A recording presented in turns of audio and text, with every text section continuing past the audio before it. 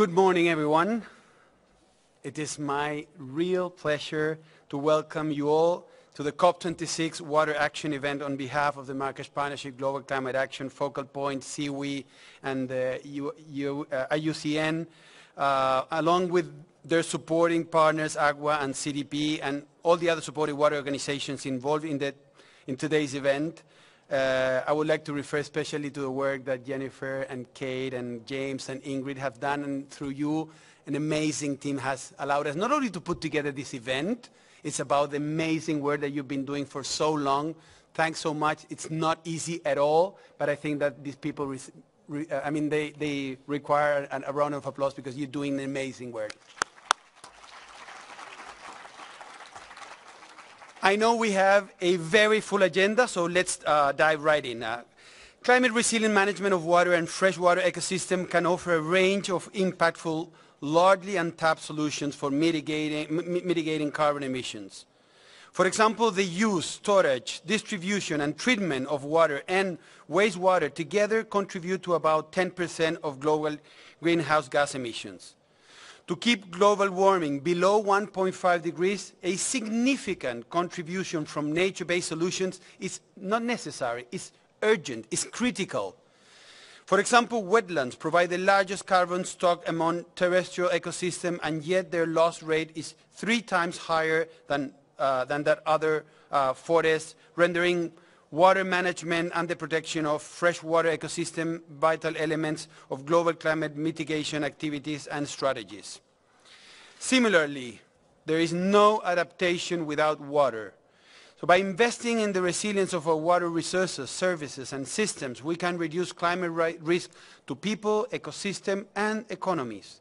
Accelerating and scaling action on water-related solutions for climate change mitigation and resilience, therefore, are definitely a win-win proposition.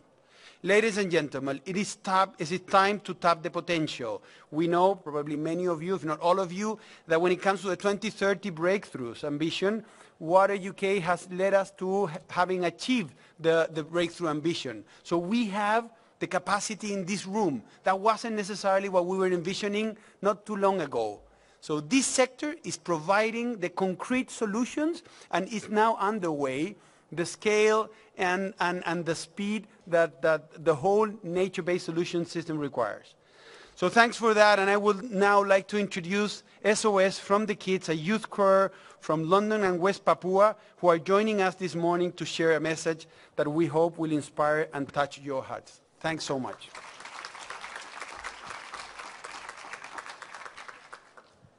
Uh, hi, everyone. It's such an honor to be here. Um, it's really great. Uh, today we're going to be singing to you. Uh, we, us three, we don't have our full choir here, which is quite unfortunate, but I hope you enjoy it. Uh, today we're going to be singing a song called It's Time to Heal. We made this in collaboration with Fucla Voices from West Papua, who right now are feeling terrible effects of climate change. This community was devastated by floods in 2019, which swept away houses, damaged schools, roads, and bridges around where they lived. These floods are becoming more frequent and severe due to climate change. On the screens behind us, you will be able to see Fucla Voices recording their song in Sentani, which is their endangered local language. We hope you enjoy it.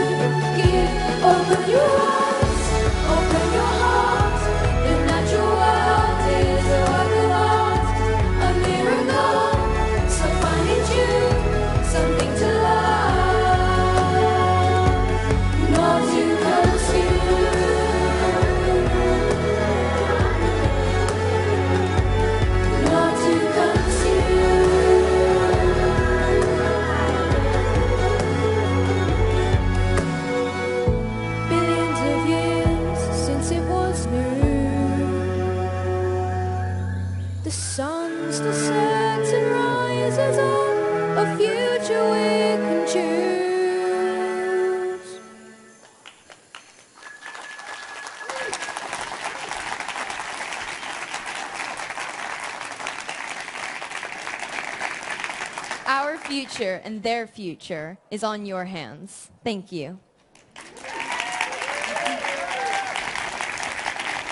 Thank you so much, SOS from the kids. We've received the message, time to heal and time to act now. Thank you so much for being here. My name is Jennifer Jun. I'm a senior policy manager at the Stockholm International Water Institute, SIWI in Stockholm. It is an absolute pleasure to be here um, to open this event. First and foremost, I'd like to say some very important housekeeping remarks before I introduce our guest of honor um, and potentially life-saving. We do have to vacate this room exactly at 2.15. We've got a full program, so I'll try to speed us through.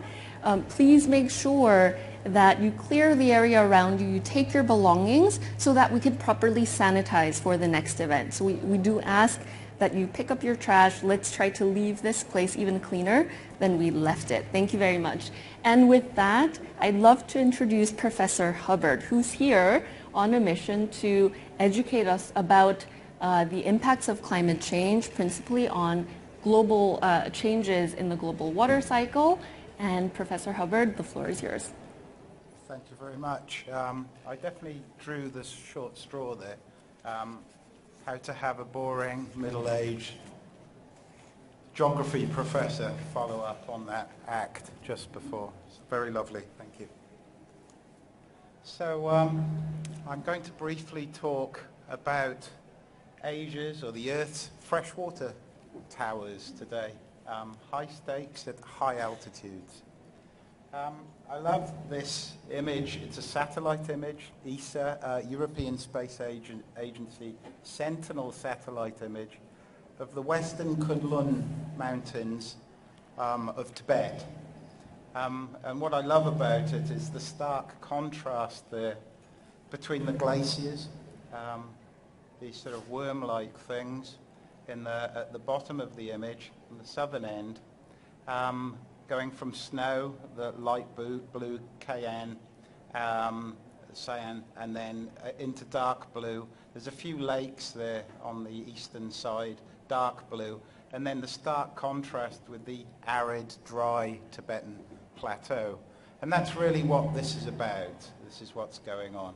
And we'll see this region come up in a, in a couple of minutes' time. So a bit of a geography lesson, I'm afraid. I'm sorry about this, but I can't get away from my roots. Um, but this is one of the most sort of fantastic areas of the globe. Um, it supports a huge population.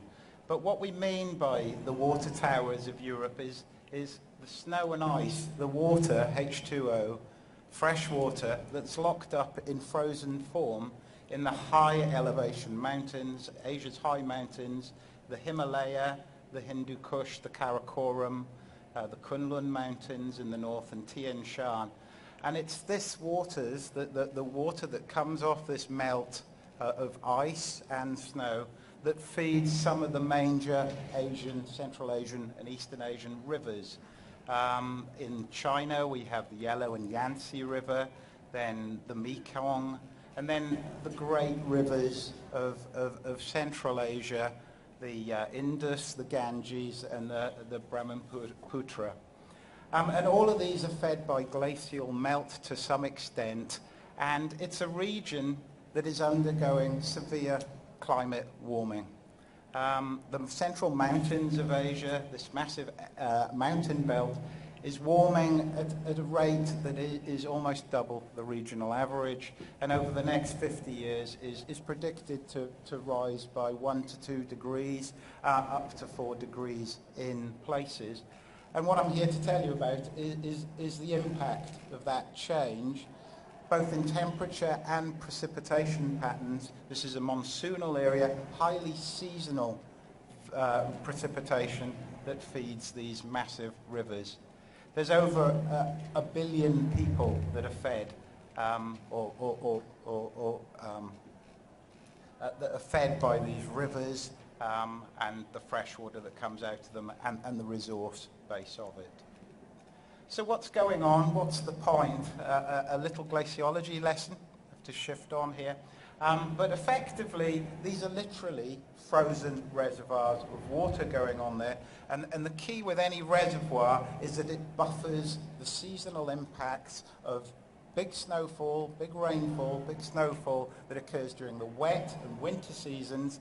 And then that, when it warms up, it melts and therefore moderates the amount of discharge and runoff that feeds these great big river systems. So the glaciers are effectively a bank account, a bank balance, which with inputs and credits going in in the form of snowfall, and then later on in the season, they, they release that water as melt, and that allows a much more constant discharge throughout the season. And that's crucial to everything that goes on downstream. So if we look at the, the primary sources of water for these big rivers, I won't go through all of them. I'll, I'll, I'll really concentrate on the Indus here.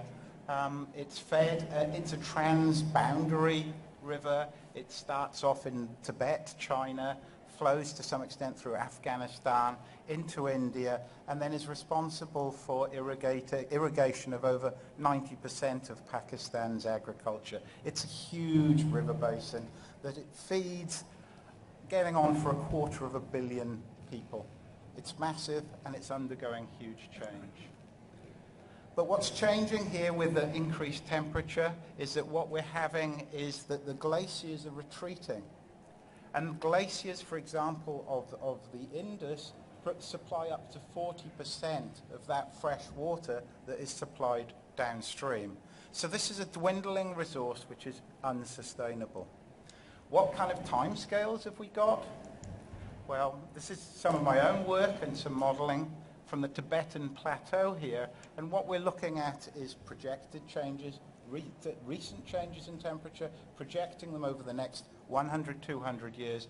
And what we effectively see here on the right-hand corner, the top right-hand corner, effectively these glaciers are disappearing into nothing over the next 100, 200 years. And even though the peak runoff is actually increasing over the next 50 years, it's pretty dire news thereafter as this resource, as this battery, as this bank account runs out, goes into deficit.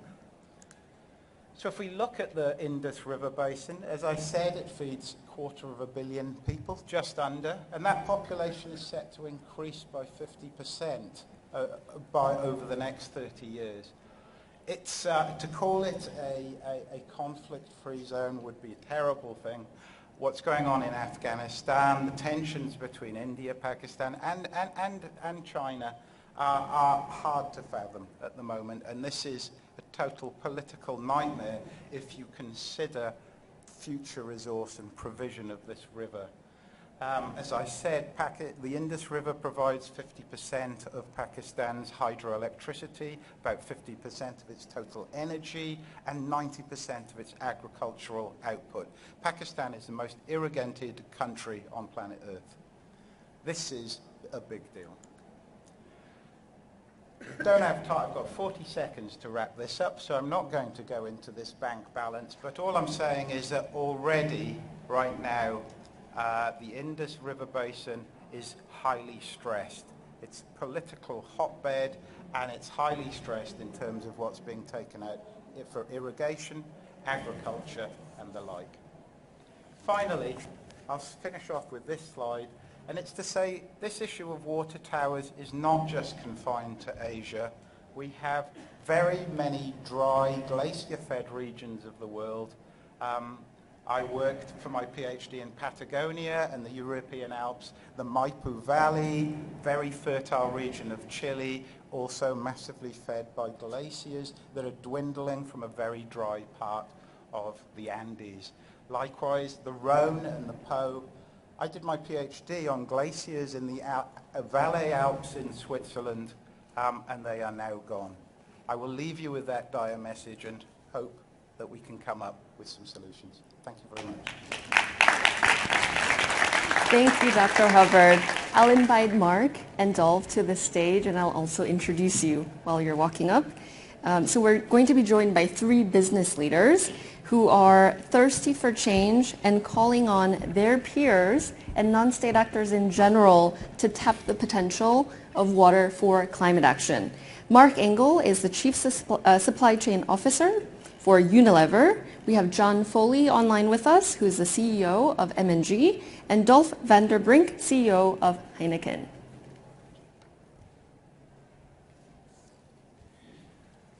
Good morning, ladies and gentlemen. I'm uh, delighted to be here and to see the emphasis in this COP on water because, very simply put, water is life. And this week we've seen an unprecedented focus on nature in COP. And when we think about nature, we think about trees and we think about forests. But we should equally be thinking about water as our most precious resource. For, for if climate change is the shark, then water scarcity is the teeth because it's where climate change is going to bite us for most. And the longer we leave the problem, the more expensive and difficult becomes the solution for everyone. And you all know that the world's poorest people are already suffering. Natural water resources, which has been free for centuries, are suddenly beginning to fail. Yesterday we met with Pushpanath Krishnamurthy, who is a climate and peace activist originally from India and now here in the UK. And he actually walked from London to Glasgow. And Push said to us that he had personally witnessed people being killed in a fight over a bucket of water. Agriculture uses 70% of the world's fresh water supply, and industry takes another 20%, which just leaves 10% for human consumption. And it's estimated that 4.3 billion people are now struggling with water scarcity for at least one month in a year. And this number will only rise, which means that we do need a radical change in approach. Now at Unilever, we have set bold and science-based targets to reduce our own emissions. But reductions alone will not protect us from impacts of climate change. Whether it's farmers growing crops or colleagues operating factories or in fact the two and a half billion citizens in the world that use our products daily. Climate change will most likely be experienced as water change. That means not enough water where we need it and too much water where we don't. And both of these changes will put downward pressure on the quality of water and in the end the quality of the economy and livelihoods. So at Unilever we already set out our climate and nature action plan which includes the action of water and improves resilience through how we source our raw materials, through the application of water stewardship programs and governance around 100 of our most water-stressed sites, and through the 1 billion Climate and Nature Fund that we have announced last year. And we're driving innovation on biodegradability in our formulations and supporting social entrepreneurs developing solutions to water scarcity.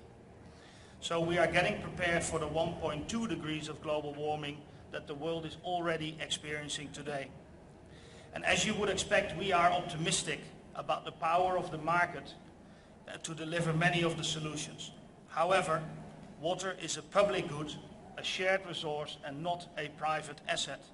We believe that governments have a unique ability and responsibility to lead here. And we want to see government lead in the development of strong water governance models that involve local communities and other stakeholders in their development. There can be no substitute for that local collaboration and global action. We need government, business, civil society and academia working together to better understand water stewardship and how to integrate it into our global value chains.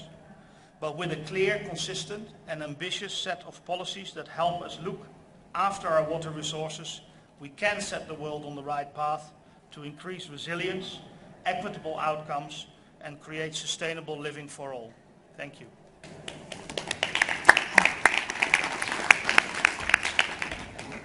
Oh, actually, I think we have someone on the, yeah.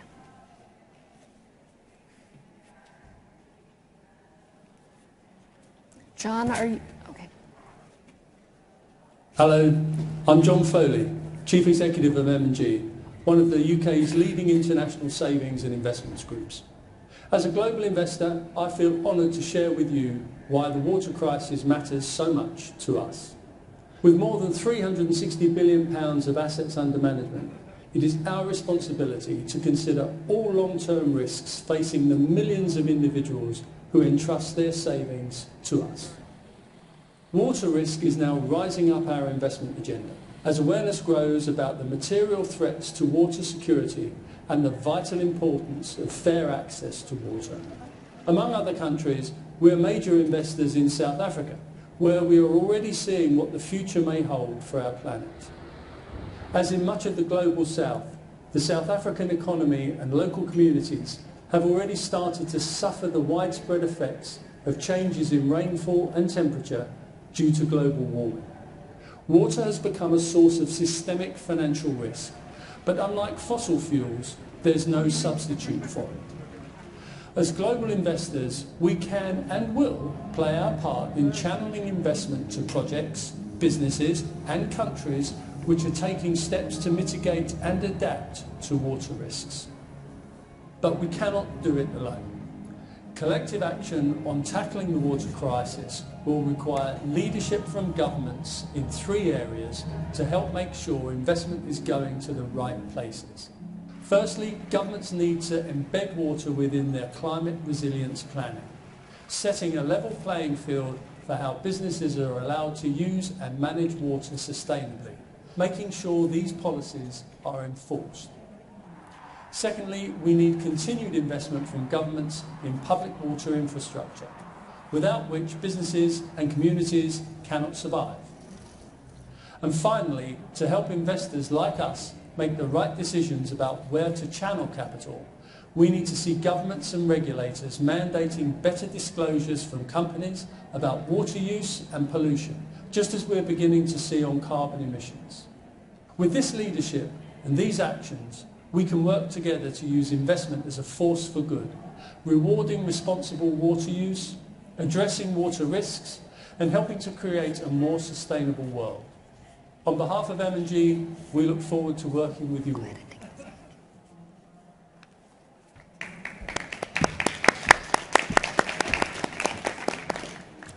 Good afternoon, and uh, thanks for including us. Uh, my name is Dolf van den Brink, and I'm with Heineken. And I'm from the Netherlands. I'm Dutch, um, a country with a rather intimate relationship with water. Most of the time we have too much of it and then every now and then we have too little. And as a brewer, we also have a very intimate relationship with water. It is by far the most important ingredient in beer. Beer is basically water, malted barley and hops. Uh, so it's not only the lifeline of humankind and nature on the planet, it's also the lifeline for us as a company. We are still a family-controlled company, 157 years old, and we like to say that we think in generations. And if there's one area where we need to think in generations, it is on water, as it is so incredibly important.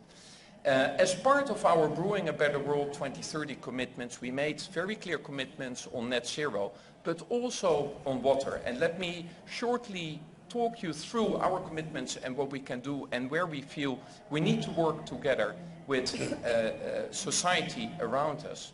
So first of all, as a brewer, for every liter of beer, we are using around 3, 3.2 liters of water. And there's a huge concerted effort in the industry to reduce that ratio. Over the last decade, we already have reduced it by 30%. Digitizing more and more of our production processes using big data, we're actually able to continuously uh, be more productive in this regard and using industry partners like Ecolab helping us on accelerating in this regard. The second thing which is incredibly important is wastewater and making sure that not only us but everybody treats their wastewater. We are at 97%, we're just 2-3% away from 100% wastewater treatment wherever we are on the planet. We're in almost 80 uh, countries. Now, with wastewater treatment, there's a very sad thing because we, we basically, at the end of the process, we have this incredible high quality water and then it goes into the sewer or into open water systems where it floods out to rivers and to the ocean. So there's a huge task to be done to look for circular uh, solutions, to see if other businesses or agriculture can use our wastewater um, uh, flows. Um, again, something that we cannot do alone. We can reduce uh, uh, you know, how much water we use, we can treat it, but then we need to work together in the local communities on making sure that that wastewater, that's perfectly fine water, gets reused in, um, uh, in the watershed. The second commitment we have made is around water-stressed areas. Out of our 170, 180 breweries around the world, around 30 are in water-stressed areas. And that's not because we kind of said, okay, hey, let's go and build a brewery in a water-stressed area. We will not do that. But a lot of these breweries have been built 75 or even 100 years ago. Um, I was um, leading our Mexican operations a couple of years ago where the company has 130 years of history and some of these breweries now find themselves in, in a very tough environment to operate in. And there we carry extra responsibility. And the commitment we are making is that we are returning 100% of the water we use to the local watershed, predominantly through nature-based solutions. And not easy. That is about restoring uh, marshlands in Spain, that is in the San Juan River Basin in Monterrey, northern Mexico. We have uh, joint massive reforestation pro uh, projects. Um, that's not our core business, so we really depend on working with other parties, like, for example, the Nature Conservancy.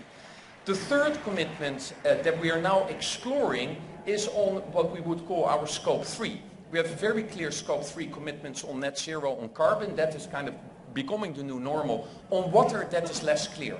So that's something that we're really investigating, and we would love to work and learn together with, uh, with others. One of the key things we have learned in this regard is the importance of agriculture. Uh, the, one of the prior speakers said it's about 70% of the usage of water uh, is through agriculture. And again, us using a lot of agriculture products like barley, we have a big you know, role in that. One of the key things that we are worried about that in a lot of places on the planet, water is for free for the agricultural sector. And we talk a lot about putting a price on carbon. We also really need to make sure that we put a price on water because there's no incentives for a lot of those farmers to become more efficient, to not irrigate, but try to use rain-fed. We can do things like develop more, um, you know, less water-intense varietals of our barley, but we do need, in the end, to work together with the agricultural sector. These are very complex, um, uh, you know, challenges. You have our commitment on what we control, and you have our commitment to work together to bring some of these things uh, forward. Thank you very much. Thank you very much. We heard from three business leaders, Marc, John, and Dolf, and now it's time to hear from uh, leaders in the, the non-state actor space, uh, additional leaders who are equally important. Now we are going to see a video about the power of wetlands from Voices uh, representing local and indigenous communities. Walk with me. Me. Me. Me. Me. Me. Tunafanya kazi kuchunga na kurejesha kitu muhimu katika sayari yetu.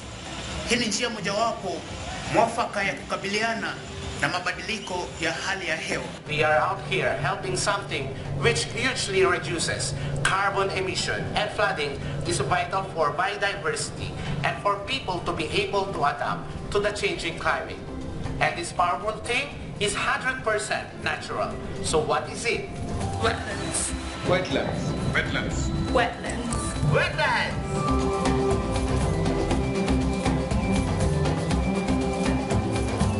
These lakes, Rivers. Mikokohi. Seasons. they might look common, but they are very powerful. Wetlands husaidia viwango vikubwa vya maji na kavu. Asilimia 40 ya viumbe hutegemea wetlands. But since 1970s, our earth has been destroyed. We are losing the very thing that can help us most. Kwa kuhifadhi mazingira ya wetlands, yale yaliyoharibika, Significa que podemos hacer una diferencia inmensa en nuestras emisiones de carbono en los próximos 10 años. It's time for us all to recognize the power of wetlands. Il est temps que les pays, les villes, les entreprises intègrent les zones humides à leurs actions. Lutter contre le changement climatique et respecter l'accord de Paris. Sinon, ils nous mettent sur la voie d'un réchauffement climatique mortel. That's not right. Kami, mga wetland ambassadors, uban sa libuan nga kabatanunan sa tibuok kalibutan, sabay nga nagalihok. We're working to increase the power of wetlands. Tara na, muduyog ba kamo? utajiunga nasi. Will you join us? Will you join us? ¿Te unes?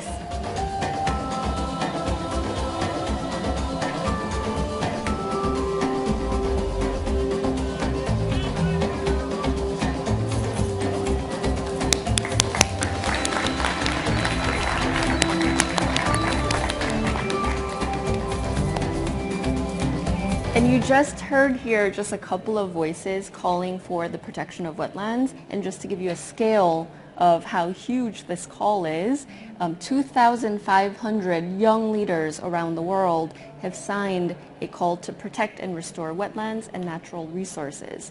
So this is a terrific effort. For the past one and a half years, many water partners uh, have been working together to update, upgrade, and enhance something called the Climate Action, uh, Action Pathway for Water. And I'll use this moment to cue the PowerPoint that I prepared. Um, the Climate Action Pathway for Water represents the water community's vision for a climate resilient net zero future by 2050. And we've been using this time to uh, involve as many stakeholders as possible to illustrate, to, to paint what that future would look like.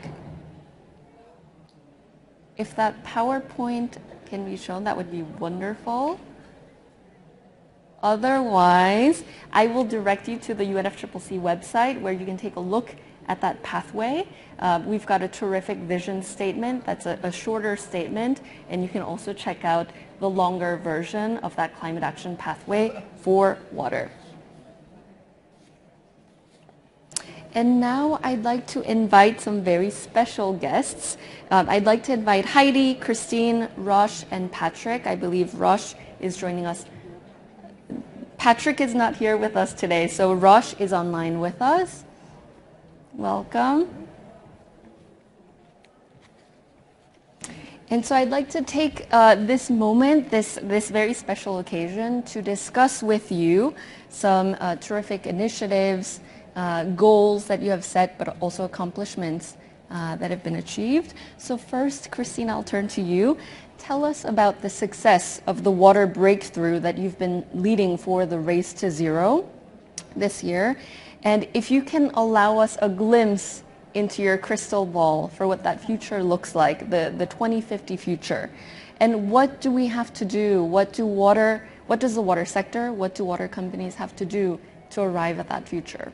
Yeah, thank you so much. A really good question. And thank you for inviting us here today. It's been wonderful to hear those uh, really powerful voices. I'm going to talk about two things really briefly.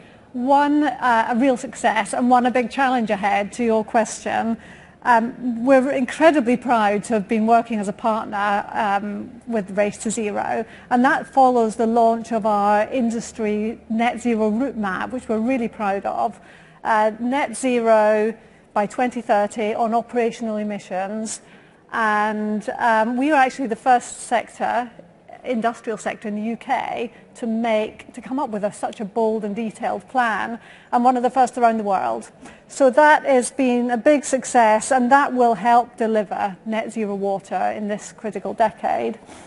It shows uh, in that route map some of the areas where we're well placed to succeed and also highlights where the challenges remain.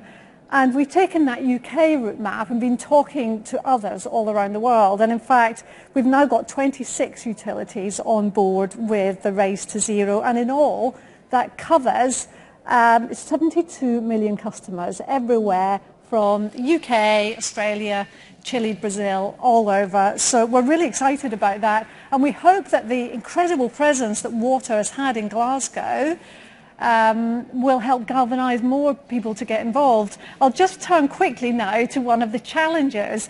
And one um, of the big challenges ahead is around the greenhouse gas emissions that are created by the processing and treatment of wastewater. We've heard a little bit about that today, but it's a huge challenge, and that's why today we're launching a global call to action to galvanise more collaboration and research to really solve that big problem because that could make a really big difference. So we're supported by partners on that and partnership is crucial to all of this. Partners in the US, Australia, New Zealand and Europe. And we, our simple call to action really is to get governments and regulators to play a part in mobilizing the private investment that's needed and the policy implementation that's needed in order to support action to solving this uh, process emissions challenge. So there's a need for innovation, development, deployment. There's an awful lot to do, and with the right support from government and regulators, we can make a big difference. A couple of quick things we're also doing. Um, we're going to pull together a research directory of successful projects. We're going to share knowledge and best practice. All of this is going to accelerate the delivering the net zero that we all want.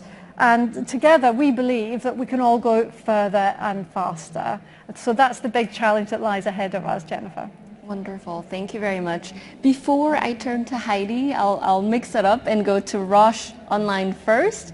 Rosh, thank you so much for joining us. You're joining us from Sydney Water. Um, and please tell us about some of the actions this year that your company has taken to accelerate transformation on climate mitigation and adaptation. Thank you. Uh, thank you. It's, it's a real pleasure to, for me to join you this evening, or uh, well, actually, I should say this morning for you. Um, I'm, I'm, here in my dual capacity as uh, Chief Executive of Sydney Water, but also as Chair of the Water Services Association of Australia. And as Christine said, we have a number of water companies from Australia that have joined the, uh, the Race to Zero, and we are very proud of that. Before I start, uh, I want to acknowledge the traditional custodians of the land and waters on which we work, live and learn here in Australia and I want to pay my respect uh, to the elders past and present.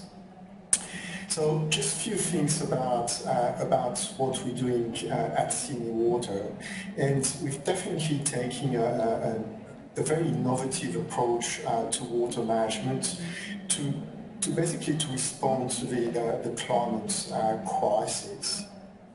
So you, you know that in Australia and New Zealand we are already experiencing the, the impact of extreme weather events. If you just look at the last 20 years, we have experienced uh, two of the worst uh, droughts on records. Uh, we have had extreme floods and heat waves, and I'm pretty sure that everyone has seen the um, pictures of bushfires that we had in the last uh, few summers. And the water industry does really an outstanding job to respond and, and manage these events, but we also know that we, we cannot continue with a business as usual approach. So at Sydney Water, we are reimagining the way we manage water to ensure our cities are sustainable, resilient and livable for the future generations. So an example is um, what we do in, uh, in Sydney's Western Parkland City, which is one of the, um, the most um, rapidly urbanizing regions in Australia. And, and this is taking an, uh, an integrated approach to water management. And, and by this, I mean not only thinking about what we do as um, just supplying drinking water and wastewater services, but also integrating stormwater and recycled water to, to really create a better environment for our customers. So we've, we've developed new planning tools to, um, to guide, the, to guide the, uh, the, the, design of buildings, uh, but also open space, um, streetscapes, green corridors, uh, blue-green infrastructure. And, and by um, harvesting and, and using stormwater and recycled water, we can really green the city and, and create a, a much cooler uh, environment without uh, heat island effect and at the same time increase the sustainability of our water resource. I, could also talk about the uh, stormwater channels, the traditional concrete stormwater channel, channels that we are renaturalizing into wetlands, and, and, I think the previous video was a, was a very good example of of, uh, of how you can do stormwater in a, in a different way. But um, another very cool project that we are working on is the new uh, international airport that is being built in Western Sydney.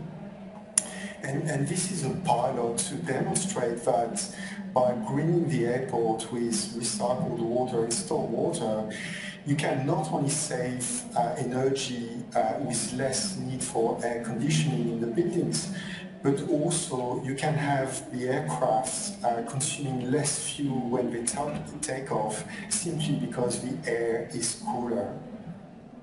So really for us, uh, it is about integrating the full um, water cycle into the city to make it green, lush, sustainable, and, and a place where our customers can live, play, and learn.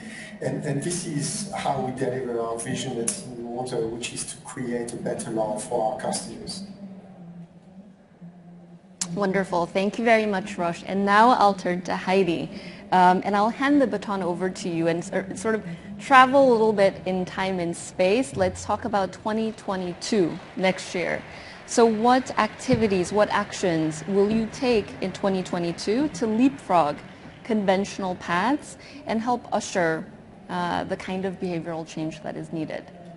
So I think you, um, you ask a really interesting question there about how to be unconventional and try and think about things differently and that's exactly where we need to be. But I'm really proud of where we've managed to get so far. We started as a company being very concerned about this in the early 2000s and since 2008 we've reduced our emissions by 82% um, by a whole range of different activities, one of the main ones being um, the introduction of a technology called advanced anaerobic digestion or as we call it power from poo um, and that made a big difference along with hydro um, and uh, buying all our energy from directly from renewable sources. So we're a long way on our journey and really pleased that the sector has uh, embraced this too and we're aiming towards 2030 for, uh, for the whole sector. I mean, that's just an incredible commitment and uh, Northumbrian Water is trying to get just a little bit ahead of that with 2027 and Um, so we've got that about a last 50 odd uh, thousand tons to, to get rid of. But what we've had to do is think differently,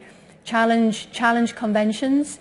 So good examples of that would be um, we brought in the first ever use of reed beds to treat water um, sludge in, in Essex. So 16 big reed beds there, a solution that is over 30 to 40% more carbon friendly than the ways that we would have normally done things. That's one way of thinking about things differently. We've got carbon champions in our business and we've, in, we've developed a digital twin of the company where we can model carbon and how can we grab just even small amounts in lots of different ways. We're even thinking about it in a way like we might approach safety. In every meeting in our company we would have a safety share. How could we improve safety? And we're now closing every meeting with a sustainability share and saying who's got an idea, who could think about something different. And we just have to keep challenging um, and thinking about things really, really differently. We've, um, we've also, um, we heard there um, Rosh speaking about wetlands and nature-based solutions. This is going to be a key part of our future. We've done quite a number of city-based sustainable urban drainage systems and we're looking um, with lots of other people because collaboration is absolutely key to that, to do more and more of that in the big cities that we serve in the northeast of England. And then perhaps another one that, that people might think about is we've challenged ourselves to, for every 60 pence that we spend in every pound, we'll spend it locally because we know in that way we will reduce transport, we will bring things closer to us. So I'd say to everybody, just challenge every single aspect of your performance, think about it, collaborate with others, um, in 2022, that will be the next places that we're going. We've got more solar um, going in next year. We're transferring our fleet to electric or potentially to hydrogen and biomethane. But now it's very much about collaboration, working with other people, working with our supply chain and seeing what a difference we can yield um, in that way as well. So teamwork, guys, um, challenge your thinking, embrace your people and bring them into it um, use te new technologies like digital twinning and advanced anaerobic digestion, and hopefully, like us, you can make that dramatic difference, and, uh, and the rest of our sector will get there in 2030. Thank you very much. You. Let's give a round of applause. And now I'll invite Olga of UNECE to join us on the stage. And Heidi just um, uh, set up the next conversation beautifully because she talked about the power of uh, cooperation and collaboration. Uh, now in this next segment, we want to discuss uh, water for peace and resilience in a changing climate. Um, we want to talk about water as a catalyst for cooperation in times of water scarcity, water insecurity, and the need to accelerate action on tra uh, transboundary uh, agreements. So please take the stage. You can actually use the podium if you'd like. This one? The podium. Podium. Yeah. Would you like to first deliver? Um, I, I would like to deliver something, uh, but they told me as I have micro that I, but okay. Oh, yeah, sure.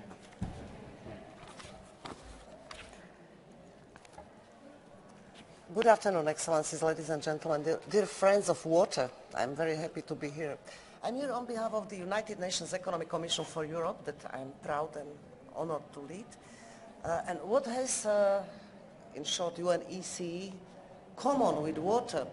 Uh, first of all, we host the Secretariat to, to Water Convention. That is Convention on Transboundary Cooperation on water, international lakes and transboundary waters. So let me start with three basic facts. And first of all is that Water is, as we know and we hear today, crucial for climate change adaptation and mitigation. Second, water bears an enormous potential for cooperation.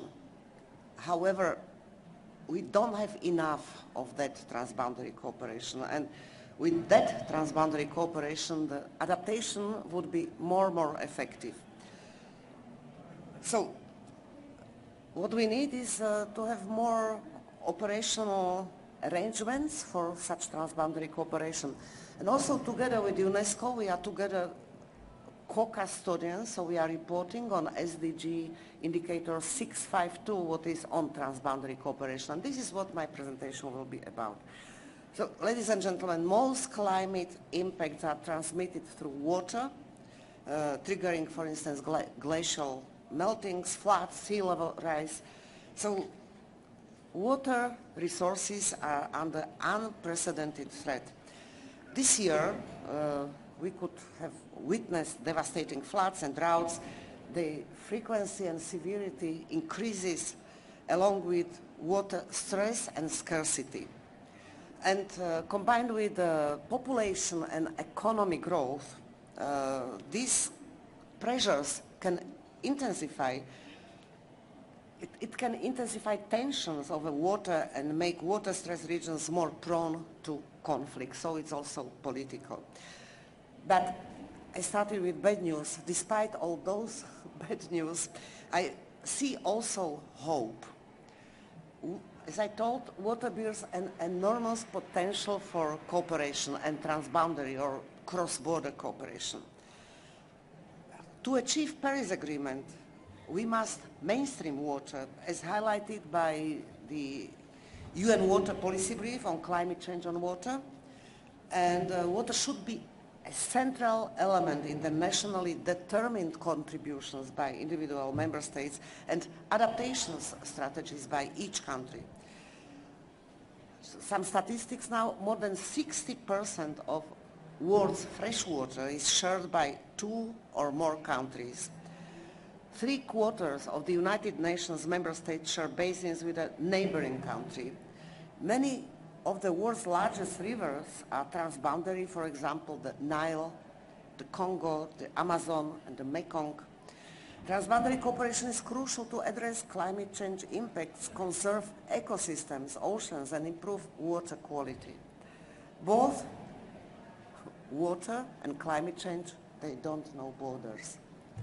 Transboundary cooperation in climate change adaptation prevents maladaptation, makes adaptation more effective by sharing data, enlarging the planning space, and sharing costs and benefits. The basin and transboundary dimension should be considered by cities, businesses, and all water managers.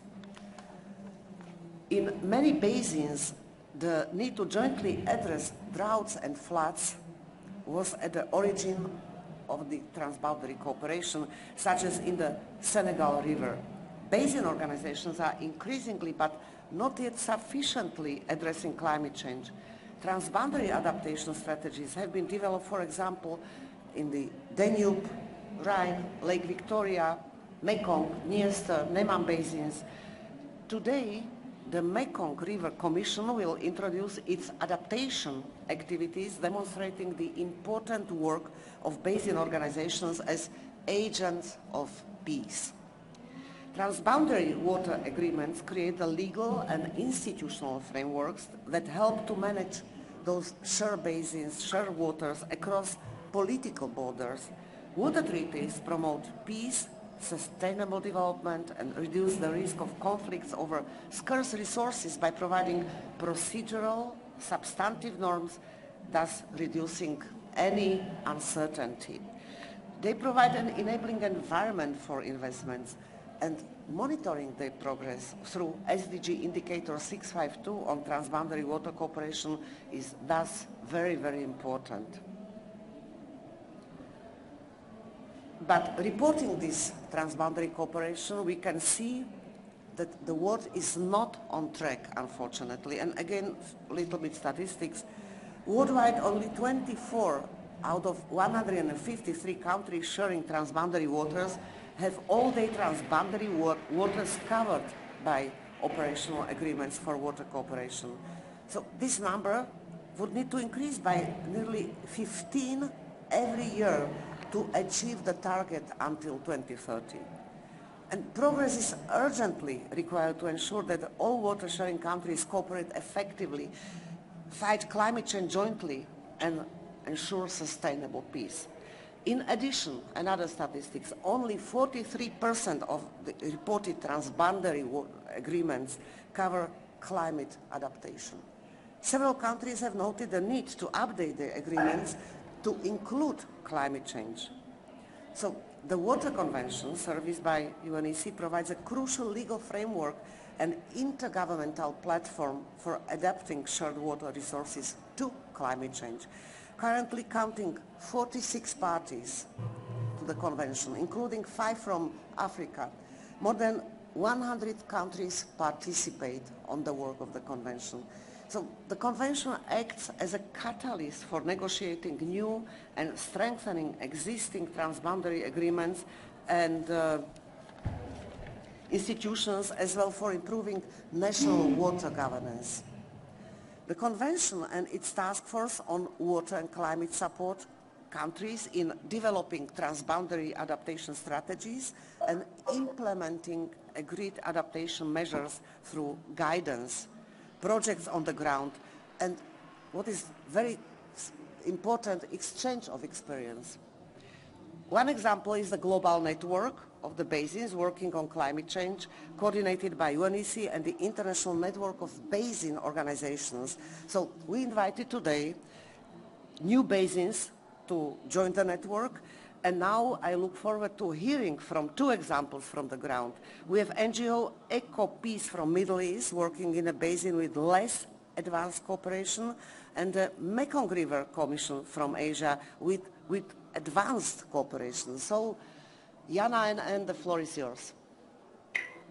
Thank you very much, Olga. Um, it's such a pleasure to be joining you here today um, from Jordan, one of the most water scarce countries in the world.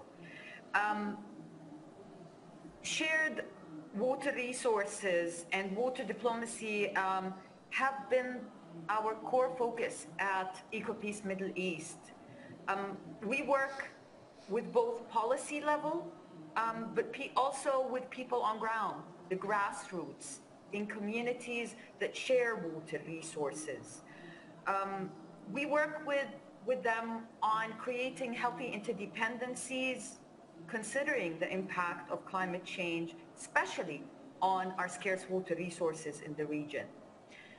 Um, one of the really great achievements we have been able to make, um, considering the amount of advocacy work we do, is the, the example of the recent water agreement reached between Jordan and Israel for Jordan to purchase desalinated water for its additional needs um, from the Mediterranean, from Israel, um, an amount of 50 million cubic meters, um, which is a great way forward for cooperation or showing cooperation between the two countries.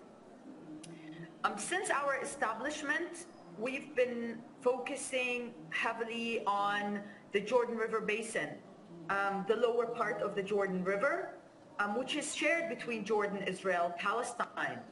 So around two decades of lots of research and advocacy, working with both policy and with communities on ground. We put all our experience and we produced the first ever regional master plan to achieve sustainable development um, in the Jordan River Basin. If all projects implemented, identified as needed interventions were to be implemented on ground, a set of 127 projects, we'd be able to boost an economy, a poor economy of a currently 4 billion US dollars in the three countries to a 73 US billion dollars by 2050 if we are able to implement the 127 projects. But we as EcoPeace know the huge amount of financial resources required to implement all these projects. So what we're doing and what we've done over the past years is we worked with different donors um, to attract um, development funds to move forward uh, a set of those projects focusing on uh, climate smart resilience uh, projects, uh, basically. Um, but if we really so we've done and we've achieved through our focus um, uh, on ground a lot in terms of uh, focusing on the water sector. But it's time for real meaningful change. And this can only happen if we recognize that we must cooperate and work together, especially cooperating on building healthy interdependencies in a region like ours that is considered one of the most uh, naturally scarce region in terms of our water resources. We must focus in our region um, on the comparative advantages that we have in each of our countries. So we must really work on bringing together comprehensive plans like our proposed Green-Blue Deal for the Middle East, a proposed plan for our governments in the region to cooperate on implementing projects that are climate change resilient. Yana, sorry to interrupt you. We do have to move uh, on to the next speaker. Would you like to wrap up in the next couple of seconds? Yes, yes, please. So, I mean, I encourage everyone to look at the proposal of a Green Blue Deal, which talks about projects that are solutions, that are climate change resilient.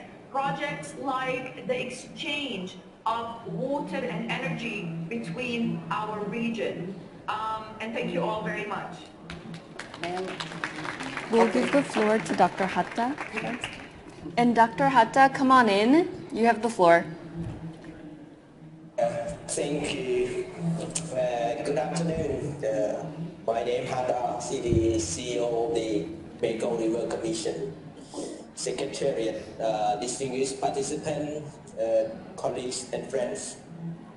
I have the great pleasure and honor to speak at the Water Action event on behalf of the Mekong River Commission Despite our region abundance water resources, water scarcity in Southeast Asia face major challenges because of increased demand, excessive competition, and threats caused by climate change.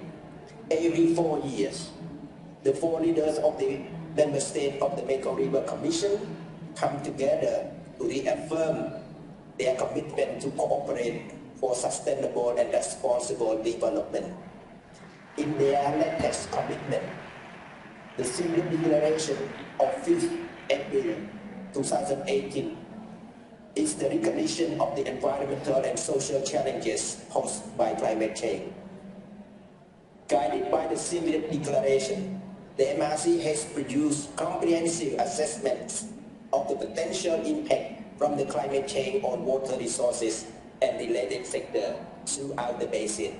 Those assessments highlight the increased frequency, duration, intensity of flood and drought in the next 10, 30 years. And to cope with these ongoing and future impacts, we have devised a new 10-year basin development strategy 2021-2030 approved by the MRC member country Council of Ministers. The strategy features as one of five strategic priorities under the heading Increasing Resilience to Climate Risk, Extreme Flood and Droughts, which incorporate climate resilience into the 2040 basin visions. Some of the ways the member states have agreed to address those issues include, for example, more proactive regional planning that identifies and evaluates solutions toward water security challenges achievable with cooperation between countries, including nature-based solutions and ecosystem-based adaptation. Greater coordination of water infrastructure operation, including transboundary operation, and improved data and information sharing. The MRC is also supporting member countries in both mitigation and adaptation challenges. For example, with regard to climate change mitigation, we are working with the member country to identify a more optimal and sustainable development pathway. This includes evaluating the relationship between water and energy sector plans and identification of alternative development scenario that may increase benefit and reduce costs. Dr. Hatda, we'd kindly like to ask you to wrap up your remarks in a couple of seconds. Thank you very much. On adaptation climate change, our focus is on transboundary cooperation to manage the potential impact of increased flood and drought. People-based organizations like ours are usually challenged by the inter-sector natures of the climate change threat and the need for policy responses that cut across the water, food and energy nexus. We have to adapt with the new climate reality with the approach which are flexible and responsive to changing conditions. This is because the issue of climate change is not that any single country can solve by itself. It requires stronger cooperation and broader commitment from every country. Thank you.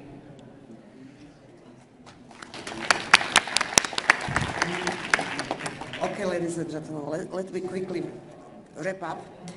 Just few informations. Um, you have seen some examples. Another examples from other basins will be presented during the Cooperation Day at the Water and Climate Pavilion on November 12th.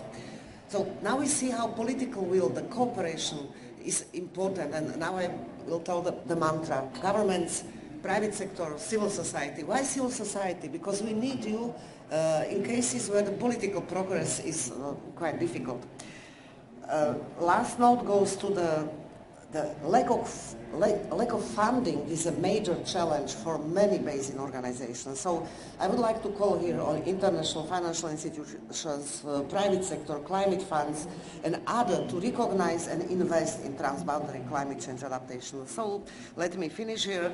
Uh, we will have in 2023 the United Nations Water Conference as the future, also the future COPs will provide uh, crucial milestones and uh, I look forward to engagement of all relevant actors. Thank you. Thank you very much, Olga. And now I invite Marie-Laure Vercambre from the French Water Partnership and the rest of our panelists to join the stage. Thank you.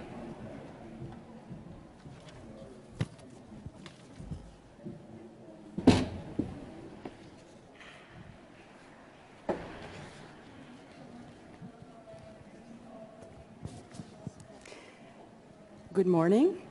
My name is Marie-Laure Vercambre. I am the Director General of the French Water Partnership, a multi-stakeholder uh, platform uh, gathering 200 um, uh, stakeholders of the French water sector. I'm very happy to moderate this segment. Um, and uh, we welcome uh, Mr. Stéphane Payet, who is the Deputy Director um, of the department in charge of the environment, environment and climate at the French Ministry of uh, Europe and Foreign Affairs. Um, and Mr. Nabil Ben Khatra, um, the Executive Secretary of the um, Observatory of Sahel and Sahara. Um, so we're here to talk about uh, uh, the funding of adaptation of water adaptation in the field of water specifically. And, um, and also to talk about uh, an initiative uh, that was launched at uh, COP21 uh, that was um, 100 um, uh, water and adaptation project uh, for Africa. Mr. Payet, um, what is it that continues to slow down action and how can we speed up the development of adaptation projects in the water sector? Thank you. Thank you very much for your invitation and give me the, the, the floor Thanks. on behalf of the, the, French government. So water is a, is a strategic sector at the center of, uh, of many climate issues. And we often talk about risks such as floods, droughts, tornadoes, but uh, there are also the needs for, for drinking water the management of sanitation networks. And addressing water management is linked also to uh, other related issues such as uh, land use planning, preservation of biological ecosystems, human development, and also pandemics and transmission of a virus. So France is uh, involved in water management and the fight against climate change at the international level. And its international strategy for water and sanitation, which was adopted in 2020, brings its contribution to the achievement of SDG 6, including its targets dedicated to sustainable and integrated water resources management. L'Agence française du développement, the French Development Agency, finances a higher number of projects around the world through the Adapt Action approach, for instance. And one of its important components uh, aims to improve the management of water resources. Uh, for example, in Senegal, there is a project of protection of the water resources of the Pout catchment area through nature-based solutions. The mobilization of many actors to develop cross-cutting approaches within water and climate networks is therefore essential.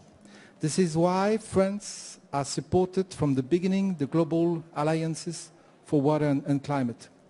There are many ambitious water-related adaptation projects which are planning actions at basin level, a scale highly relevant for this transversal cross-sectoral approach. But projects are not getting finance in an efficient way because climate finance access was primarily designed for single state access and not for transboundary basin organizations gathering different countries. Thus, uh, in our views, there is a gap between, from one part, the financial donors and the other part, the project holders. For two main reasons. The first, the project holders are not familiar with the complex landscape of climate finance and its myriad of donors and complex procedures. And second uh, reason, uh, donors are often unfamiliar with the methodology of the basin approach which is the approach defended by, by France, supported by France. For projects uh, covering transboundary rivers or lakes, processing submissions in, is particularly complicated.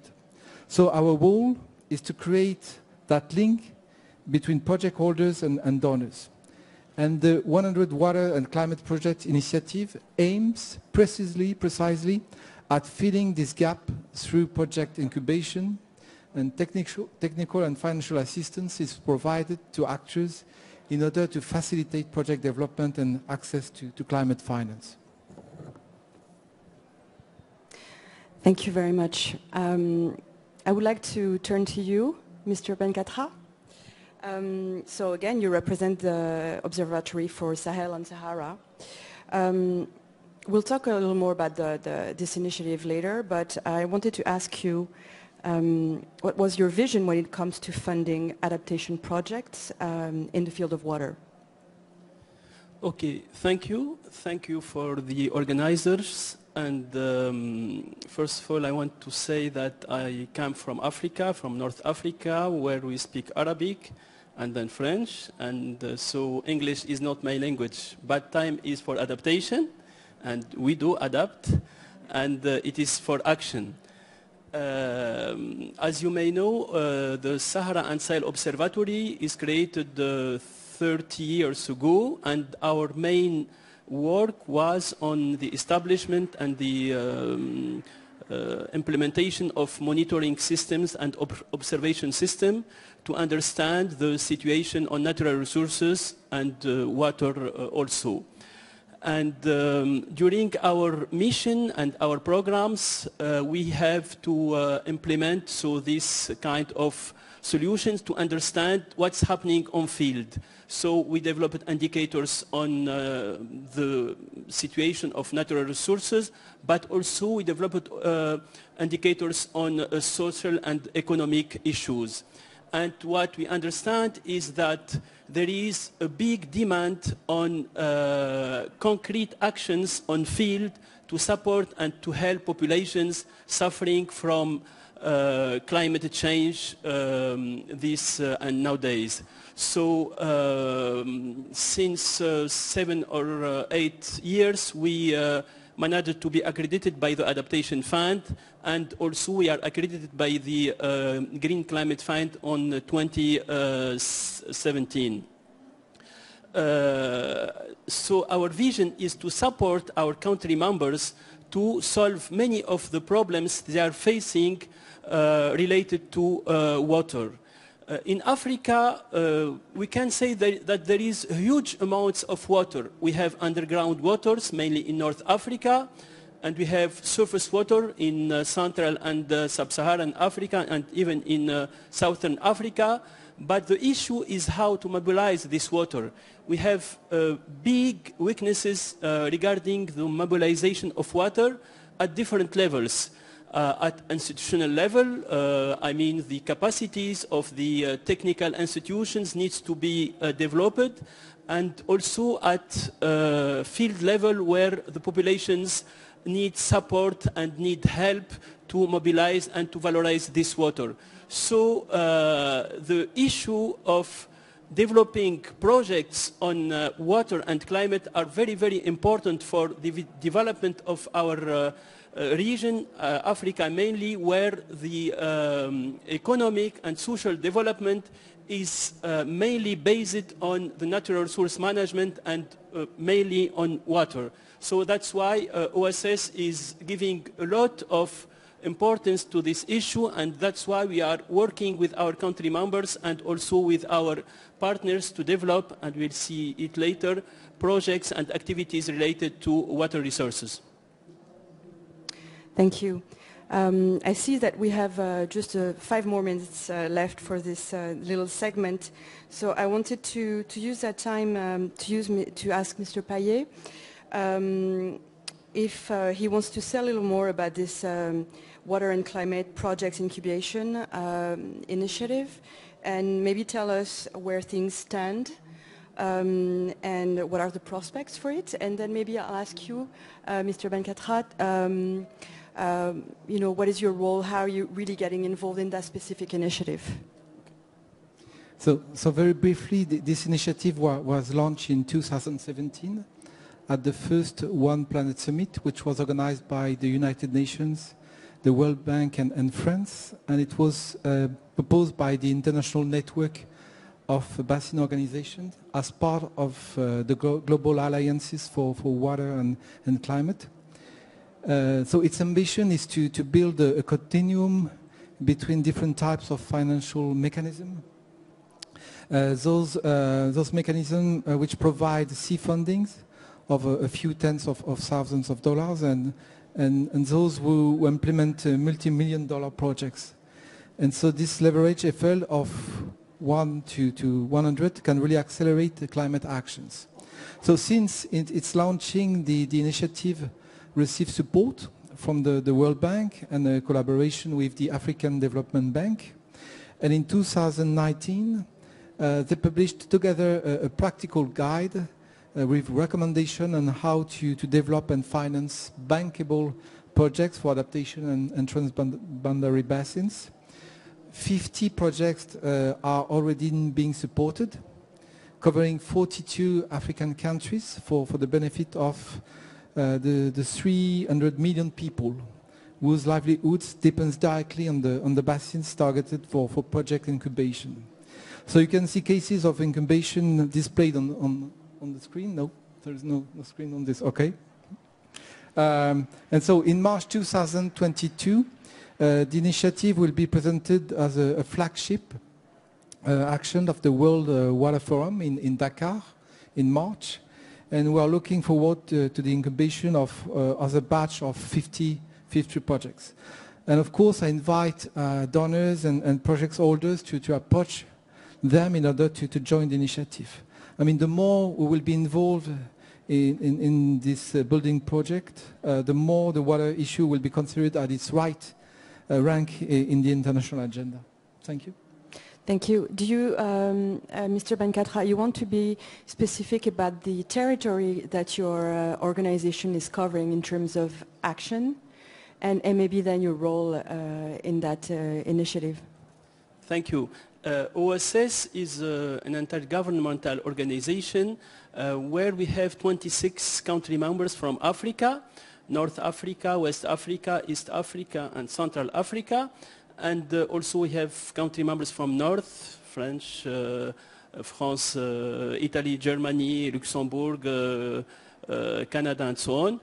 And, but OSS is not only working on just the country members. So now we have projects financed, by, for example, by the Adaptation Fund in Austral Africa, in Angola, and Namibia, which are not yet members of OSS. So we don't have a restrictive approach.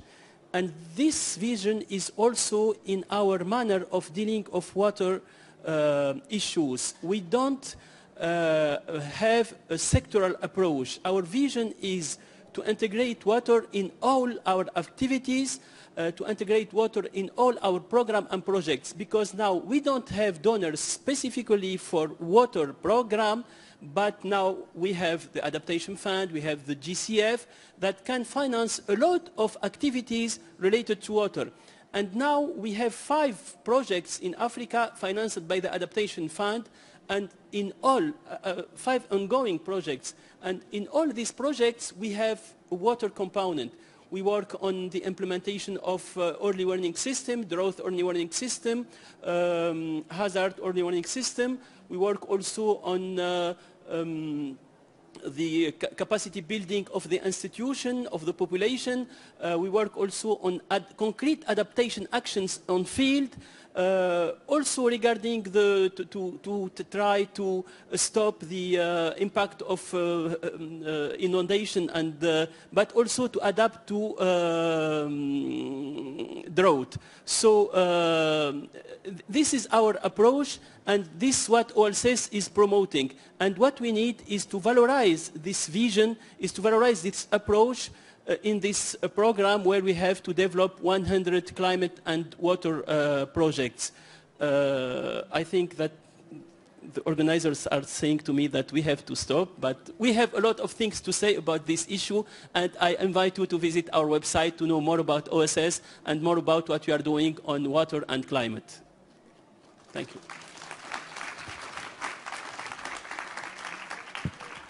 Thank you, Marie-Laure. Um, before I introduce Kate Lamb, my colleague uh, Kate, um, it gives me special, special honor and privilege to lend this platform to elevating the voices of local communities and indigenous, uh, indigenous peoples. Um, thanks to the Equi uh, UNDP Equator Prize, um, let's listen in to the voices of the prize winners.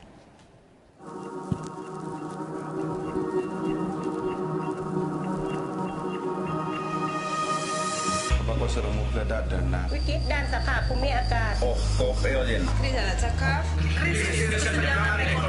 crisis de la naturaleza el coronavirus ha puesto nuestro mundo de cabeza.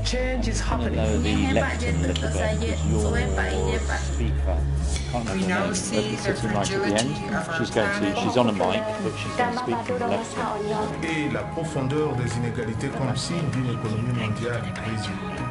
But we see something else. Bahwa kita semua saling terhubungkan.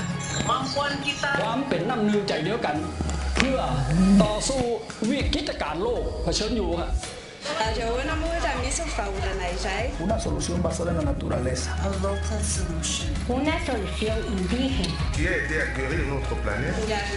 Restaurar nuestro futuro.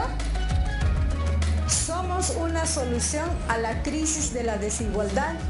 Complot dot dirty pour aller to o yel to lugia square kilometer. 4785 km d'habitat. 74.400 hectáreas de bosques. 5,000 acres of a critical wildlife corridor in the Masai Mara Serengeti ecosystem. Nous assurons l'avenir de nos grands singes et de nous-mêmes. We are reversing poverty while staying true to our culture. Nuestras comunidades están trabajando juntas a través de prácticas ancestrales y sustentables defendiendo la vida y el territorio. Manteniendo vivo el conocimiento tradicional a través de nuestra relación con la naturaleza, generando puestos de trabajo bajo el liderazgo de mujeres y recibiendo los beneficios justos por nuestros productos.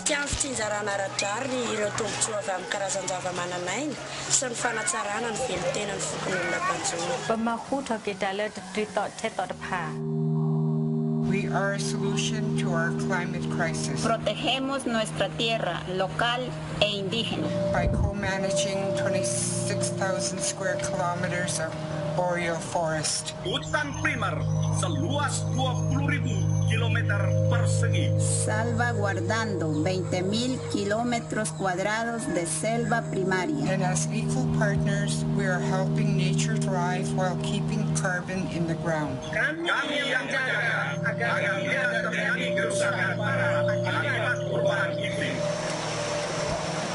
Saya faul naman krisindan. Kalau bayi om mereka gompote, tem piniente, que mate, mona que ima watape ima. Ang nalalang famblikas, meron ang nalalang ni maisa ni dun sa paparu ang parian ng trampis ay.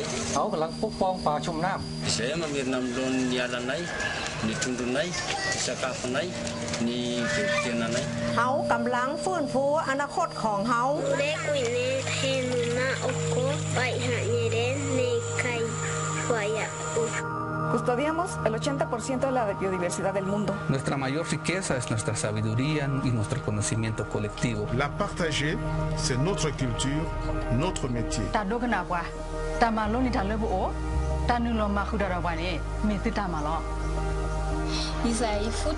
Somos indígenas.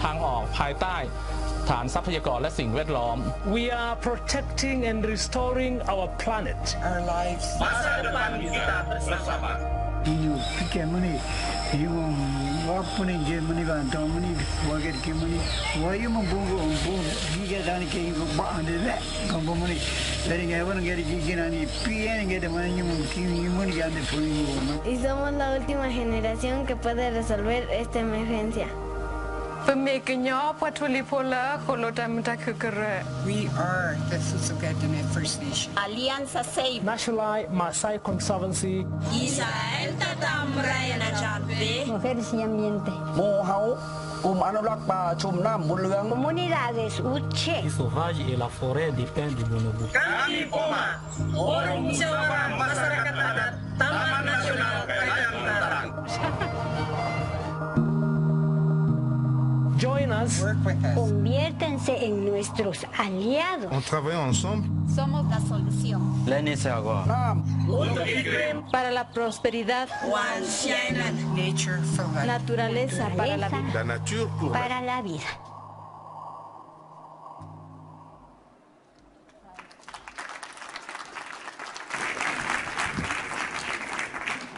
Powerful stuff, right? My goodness, I'm, um, I have to, I'm quite an emotional person after a year and a half of working with the climate champions in CDP. Um, and it gives me a, a huge amount of pride and pleasure and honour to be here to be able to bring these voices into this space. As we said before at the opening statement, we're hoping that all participants today will open their hearts and open their minds and be prepared to be the change that we need to see. So we've heard this morning already about the, the need for change, right? We've heard from an amazing scientist, Alun Hubbard, um, a glaciologist, about the, the, what the science is telling us. We've heard from a range of communities about the fact that they need this change to happen last week, today, and tomorrow. And we're moving into the segment now, which is really focused on those activities and those actions that are bringing about those changes. And so I'm really excited to be able to host this final segment of the day. I hope you're all still with us. Um, and I know it's quite warm in here, so you might want to feel free to stand up, take a bit of a shake around if you need to, to waken yourself up a little bit. So I'm, uh, my name is Kate Lamb, by the way, if you don't know who I am. Um, and I'm going to read from my notes because we've been doing a lot of preparation and not a lot of preparation to, to, to speak eloquently without them. Apologies. I'm here to introduce the first segment a segment titled Systems Change to Scale Urban Water Resilience. We're taking you into the cities, both large and small, that are dotted across the world. They, many of them, are on the front line of the climate and water crisis. A new generation of water programs will bring together water, climate and poverty challenges under the same roof and support resilient development for all. Programs such as the Resilient Water Accelerator and the Africa Urban Water Resilience Initiative aim not only to deliver resilient water infrastructure, but to also support the data, expertise, planning, finance and organisational structures required to ensure and expand water security sustainably. In addition, these initiatives will fix underlying problems in the, the preparation for future climate threats. And so it gives me great pleasure to please welcome our, our, our panelists up to the stage while I introduce their names. Unfortunately, Mayor Pudence is unable to join us today, which is a real shame. We were really uh, excited to be bringing uh, the voice of, of the Rwandan people into this space but please hold them in your thoughts while our wonderful panelists uh, speak to us today. The first we're going to hear from is Hassan Jahan, the Country Director of WaterAid in Bangladesh. And then we'll hear from Rogier van den Berg uh, from WRI. And sorry, Mayor Constant, you were on the next panel, so you may sit down again. we'll give you a prompt when it's ready. Uh, so please welcome our speakers. And um, Hassan, it's over to you. Thank you.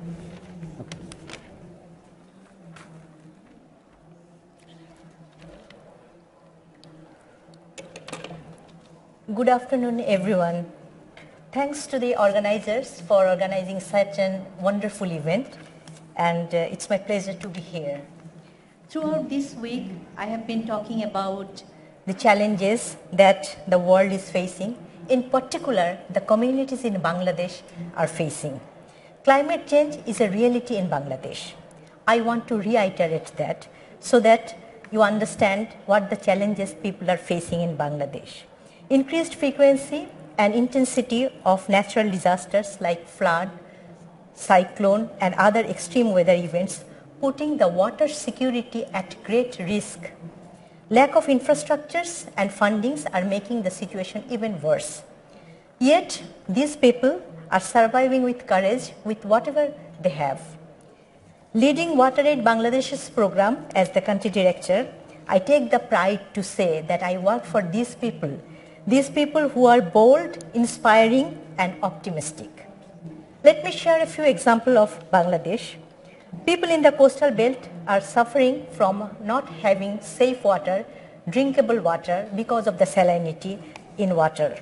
Due to frequent disasters, there are regular wash facilities. Wash means water supply, sanitation and hygiene. Wash facilities get washed away. WaterAid supported them with rainwater harvesting and other resilient alternative wash facilities. But they need innovative and more sophisticated approaches and resilient infrastructure to withstand the impacts of climate change. For this, the flow of money needs to be increased to meet the needs and expectations of the communities. No doubt that we need new approaches to address the water challenges to ensure that these approaches can secure much needed investment from climate finance and other sources such as private investment. Uh, and lastly, we need to make every million count. The Resilient Water Accelerator, it's an exclusive initiative that brings together a number of partners including WRI and the British and the Bangladesh governments and so, uh, soon we are hoping to, that government of Rwanda will also join us. It aims to target those areas which are more vulnerable to develop comprehensive water programs. These programs aim to ensure that the climate change impacts impacted vulnerable communities have clean and sufficient water and the water resources are boosting the ecosystem. To speed up these programs and secure funding, the accelerator will bring the governments, experts and communities together to gather data and assess the climate risk and threats to water. Based on the data and analysis, we'll work with the local communities and authorities to design the program. We will reach out to the entrepreneurs and financial institutes to get the money flow into the system. Most importantly, we'll ensure that through this work, we strengthen the communities to build their resilience to respond to the next challenges. I appreciate the shared sense of mission and ambition in the room, and I look forward to working with many of you as, it take, as we take it forward. Thank you so much. Thank, thank you, Hassan. And Roger, may, may I please introduce you and uh, hand, hand over the panel to you. Thank you.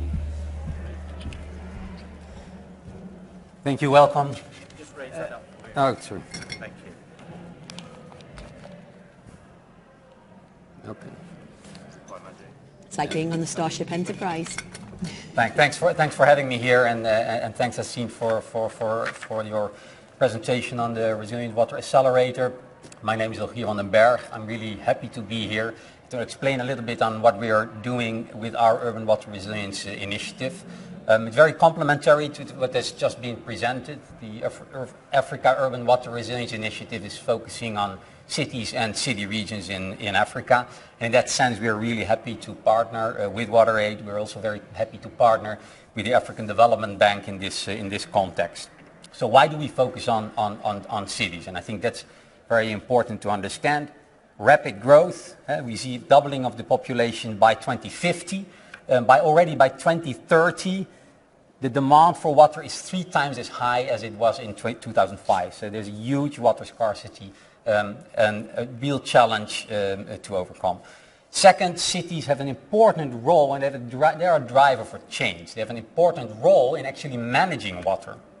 Water that's usually managed much more at the national level. There's a huge opportunity to bring cities into position.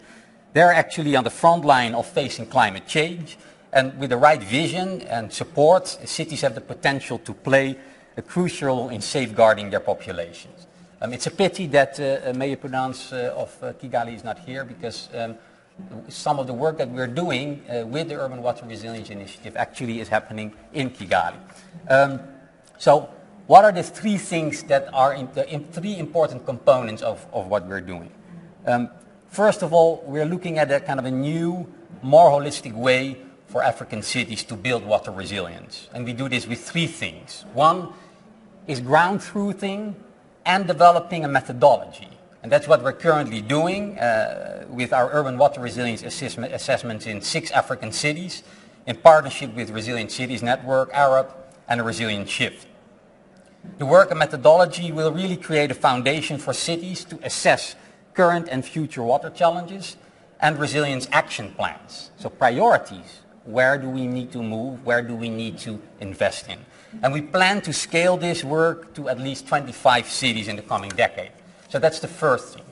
The second thing that we're doing is galvanizing an Africa-led movement around shifting the practice. We are working towards developing an African Urban Water Resilience Agenda 2030 that lays out key principles and priorities for shifting how we manage water in cities across the continent. And this is going to play a role, an important role, a call for action, a call to action to national, local authorities, to financial institutions, to really work differently and bring resilience at the center. And also to work differently, bringing water management, WASH, and water resource manager, man, management closer together.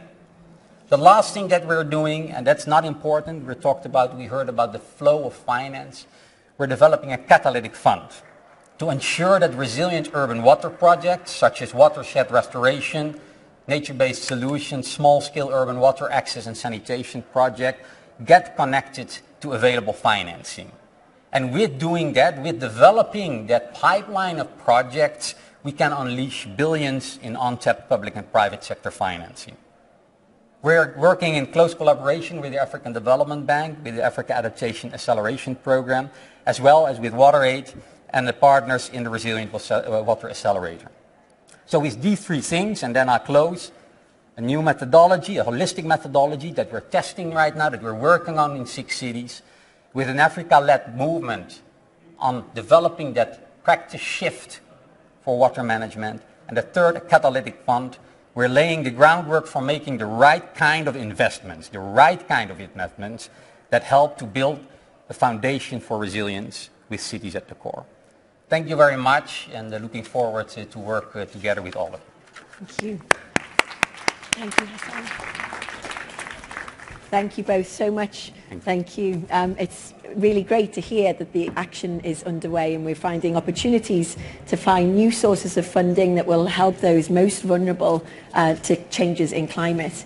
Now, while I'm speaking, I would like my next uh, panel to join uh, us on the stage. That's, that's Mayor Constant, and Samuela uh, from the International Water Association. It gives me really great pleasure to introduce this initiative. It's an exciting one um, with a really great title. We're launching today the, the 50 to 1 billion campaign. This is an initiative that has set to really trigger a transformation in a large proportion of the global population. And it's being delivered through water. And so Samuela is going to talk to us today about the project itself. Um, and then we'll have um, Marta Colet from Aguas Andinas join us as our main uh, speaker also uh, on the agenda today. Thank you. Over to you, Samuela. Yes, first of all, thank you, Kate. Um, it's so nice to, to be here and to share the stage with such amazing women. Mm-hmm. Um, so um, if we talk about what is the role of the water sector in, re, in uh, delivering re, re, resilience for people and, and places, um, we know that uh, um, urban water management is uh, one of the um, urban services that is most impacted by, um, the, uh, by, by climate change. So um, this strengthens the capacity of the service providers to um, deliver safe water, protect environment, people and assets from flooding and droughts. So utilities need to increase the um, re resilience to the impact um, of climate change um, to improve or maintain service level. So in particular, um, water utilities um, are fundamental for their city's climate adaptation strategy, uh, but they can also contribute up to 50% uh, of their city's green, greenhouse gas emission. So, regard, so what are the opportunities? Utilities now can be um, guided towards um, uh, water and energy efficiency as well as mitigating greenhouse gas e emission. At the um, IWA, we have been working with um, GIZ on the uh, water and wastewater companies for climate mitigation project. And the aim has been to use greenhouse gas emission reducing technology to improve carbon balance uh, of water and wastewater companies while um, maintaining or even improving service level and cost effectiveness. Um, so following the momentum created by the WaCCliM project, we started the IWA Climate Smart Utility Initiative, which uh, um, aims at assisting um, these companies in improving their climate resilience by adapting to climate change. So the IWA Climate Smart Utilities Initiative is addressed or um, engages sorry, um, utilities all over the world of all size and locations and uh, it builds on uh, knowledge exchange, experience exchange, and recognition of good practices.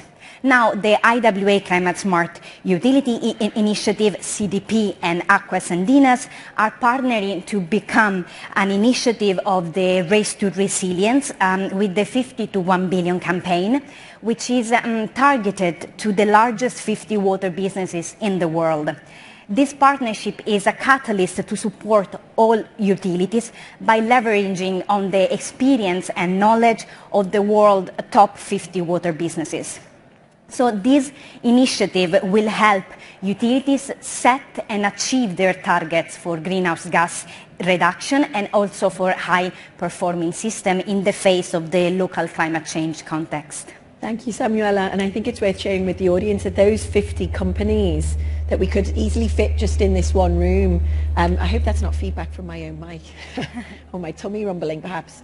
Uh, but the, the 50 utilities that we're targeting as part of this campaign serve over 1.2 billion people worldwide. and the, the power that those institutions hold is, is really, really exciting. Um, so I'm going to bring in um, uh, Marta Colet Gonzalo, who is our lovely CEO of Aguas Andinas. Thank you for joining us, uh, Marta. We're really, really pleased that your connection has worked and, and that you're, you're here with us live and direct, not quite in 3D, of course, but maybe next year. Um, so can you tell us why Aguas Andinas is supporting this campaign? Hello, hello everybody. It's my pleasure to greet you from Santiago de Chile and be part of this dialogue on this day of water at COP26. I'm sharing with you the journey that Aguas Andinas has followed to face mitigation and resilience measures on climate change. Aguas Andinas is based in the metropolitan region of Santiago de Chile, where we provide environmental services to about 8 million people through the production and distribution of drinking water and wastewater collection and treatment. Chile is one of the countries most impacted by climate change. We are aware that this is, this is not a temporary situation, but a new condition that is strongly affecting the availability of natural resources, with being water one of the most impacted in Santiago. We also think that this climate change emergency must be addressed by society as a whole, and we as companies have an, an unavoidable role. It's necessary to take long-term action now to have more resilient and prepared cities in such adverse conditions. In this context, we took a serious commitment to fight climate change, both with mitigation measures and adaptation initiatives. Concerning mitigation, we were the first water company in the world to set decarbonization objectives with scientific standards to fulfill the ambition of the United Nations and achieve 1.5 degrees. With this, we avoid the emission of 76,000 metric tons of CO2 per year.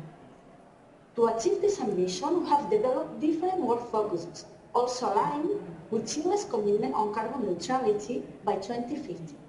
For instance, our last tender for the supply of energy considered 100% of renewable energy.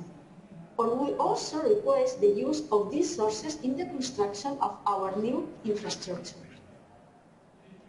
But we know that this is not enough. Climate change also means more frequent extreme weather events causing a risk of service continuity. To avoid this, we have designed an ambitious plan to increase resilience, giving a 34-hour supply autonomy to Santiago.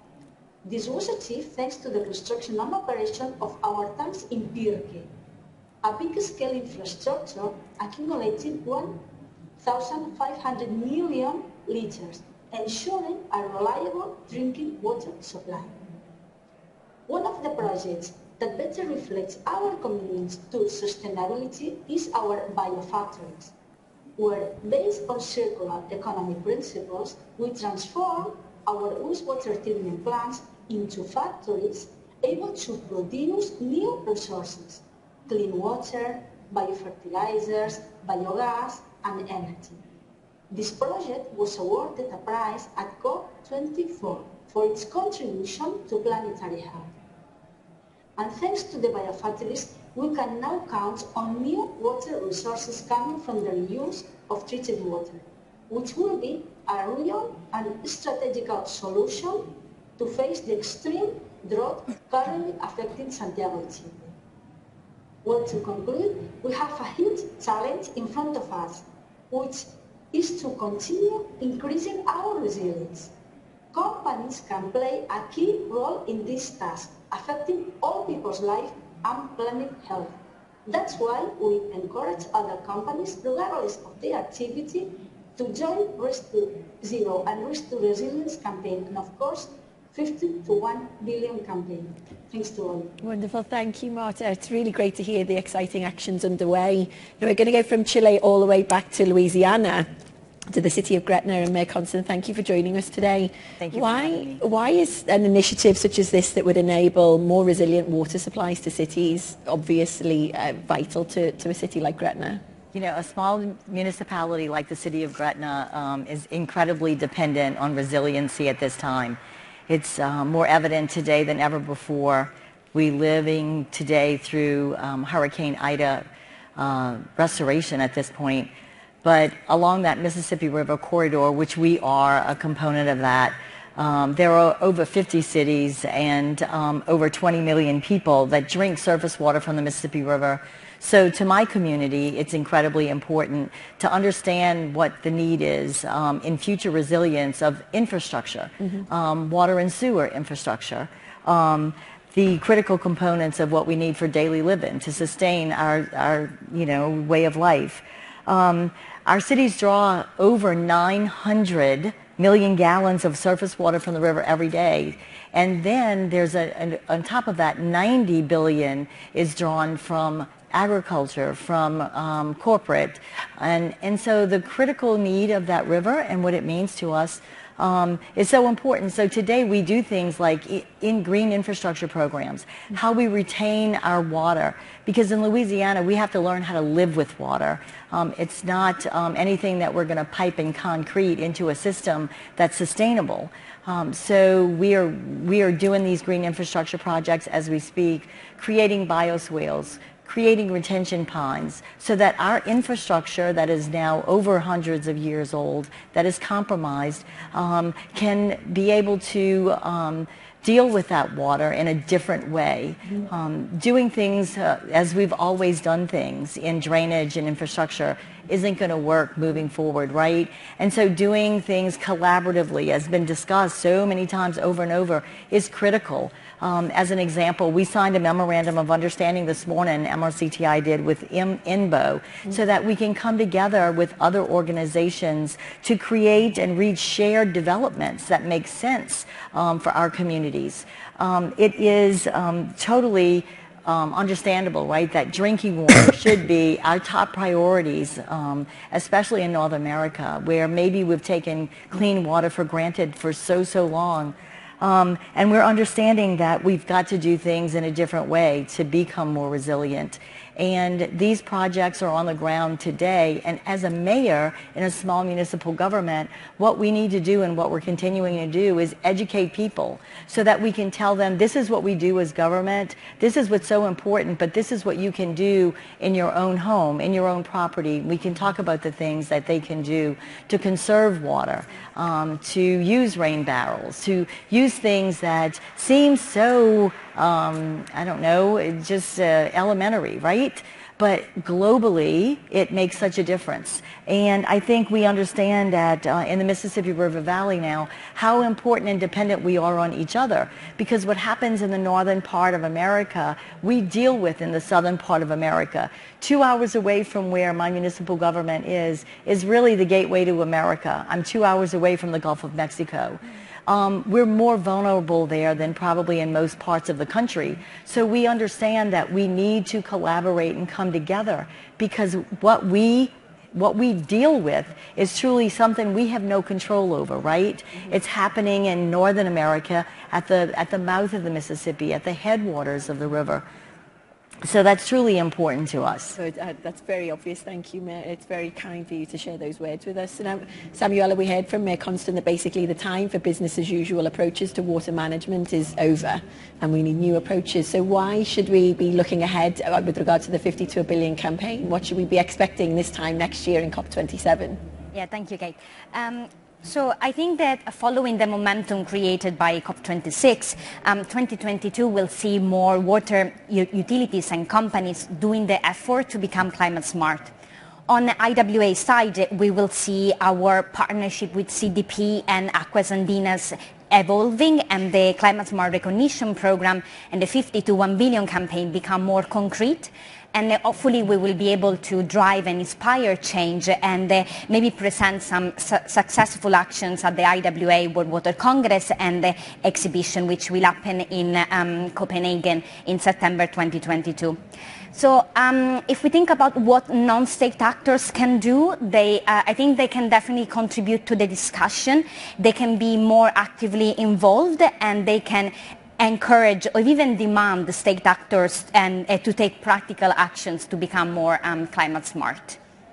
Brilliant. Thank you so much. And please join me in thanking our participants and uh, keep your eyes open for this important initiative in the year ahead. Thank you, ladies. Thank you. Thank, Thank you. you, Kate. Thank you. Thank you. Thank you. So we're now going to move on to the next action-oriented segment of the day. I'm not quite sure why I'm walking over there. Uh, I will stay here. Um, this is uh, another new initiative. There's a number of them. We're, we're, putting a barrage of, of, activity your way at the moment, uh, and that's on purpose. It's because we want to send a loud, resounding signal to the negotiators and governments that are attending today and other non-state actors, so basically anybody else that isn't a central government, that action is underway, that non-state actors, businesses, financial institutions, civil society, young people, old people, are doing their part in solving the global water crisis and the climate crisis and that therefore together we can uh, move in a more ambitious uh, pathway to deliver the outcomes that we're seeking. So on that front, it gives me great pleasure to announce our next initiative, which is the Glasgow Declaration for Fair Water Footprints. And we need fair water footprints for effective climate change mitigation and adaptation. The commitment itself, the declaration, which has already been signed by 28 institutions from governments and from civil society and from business and from finance. These institutions uh, represent 180 million people and $4.1 trillion of national GDP. The commitment that they've signed today, literally this morning in the, in the, the green room, commits each one of those organizations to, by 2030, ending the abuse of water that pushes people towards climate vulnerability across their supply chains. And it gives me a real honour to welcome our first signatory who has just walked in the room and about to join us on stage. Uh, we have the, excuse me, the Honourable Lord Goldsmith, um, who is going to talk to you briefly about, please do, Sam, about why the UK government has signed this declaration and the steps that we can take within the country in order to move the, the declaration from rhetoric to reality. Over to you, Lord Goldsmith. Thank you so much. Sorry, it felt a bit disruptive there. Not at all. Okay, thank, you, thank you very much, and thanks everyone for being here. Thanks for having me here. Um, I think most people probably know fully why we are here, but it is worth reminding ourselves that over 40% of Europe's water footprint lies outside of its border. Half of the UK's footprint is from, we believe, unsustainable sources, uh, and that our citizens, your clients, um, our voters, your investors, are demanding now that we get serious and that we fix this problem. And clearly we have to. We know that globally, extracting and processing resources contributes roughly half of total greenhouse gas emissions, as well as around 90% of the biodiversity loss that's uh, blighting the world, as well as water stress. And we know that investors and multinational corporations influence as much as 70% of the world's water use and employ one out of every five of the global workforce, much of that in places that are most affected uh, by the water and climate crisis that's hitting the world's poorest people first and hardest. So consumer countries around the world really do urgently need to look at their globalized supply chains across every sector uh, and to work with businesses, with financial institutions, civil society around the world to reduce water stress at the point of production, especially in those increasing uh, drought-prone areas. And that's our approach in the UK. It's been our approach as part of our 25-year environment plan, uh, um, building on our uh, experience taking on forest risk commodities. And we're, we're currently introducing legislation, due diligence legislation, to require big businesses who import commodities to demonstrate that they have not imported or not importing commodities that are grown at the expense of illegally deforested land. And that principle of addressing our international footprint is absolutely central if we want to tread more lightly uh, around the world. And of course, many of you have been pioneering the solutions that we need for decades now, from mapping groundwater in Malawi, and I think we're going to hear from Malawi shortly, uh, to more sustainable agriculture in Peru. But we need a, a global effort for fair water footprints, and our shared vision has to be about zero pollution of water, a sustainable extraction and equitable allocation of water, safe water, sanitation and hygiene for workers, better planning for droughts and floods, uh, changing weather, water conflict, and a solid commitment to protecting and restoring the natural systems for which there can be no substitute, from rainforests to the great mountain water towers. Um, we know that nature-based solutions offer so much potential in this uh, area that we're discussing today of water, whether it's controlling floods or preventing droughts or providing resilience for communities in vulnerable hotspots. But despite the really gigantic contribution they can make, water or nature-based solutions generally receive a tiny fraction of global climate attention and global climate finance. And I do think if there's one really big thing that's changed as a consequence of our coming together here in Glasgow, it's that.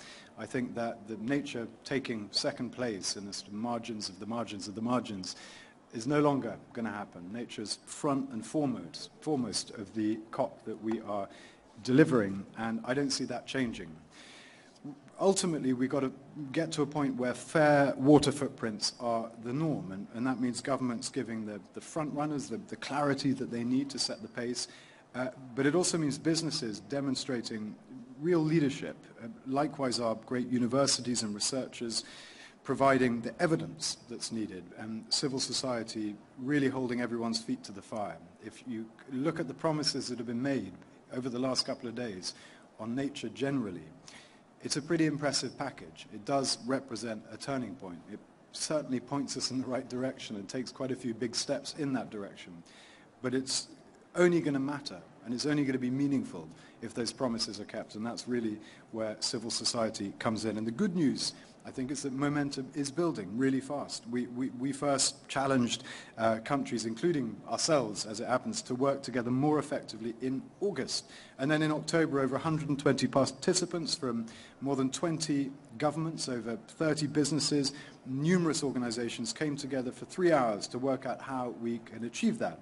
And from that, we've reached a point today where we're able to launch the Fair Water Footprints Declaration. And I'm proud that the UK is one of the first signatories, uh, alongside friends from seven countries so far, seven countries and counting, uh, as well as 20 other organizations, including businesses and civil society organizations. And the action that we are now committed to um, really matters. Um, by making our commitment public, I hope others will be inspired to join us. And I really invite all of you to join us in committing to set targets for progress throughout the decade, to mobilize the policy that's needed, the finance that's needed in order to meet those targets, and to make ourselves accountable for achieving our shared goals. So today is about getting the ball rolling.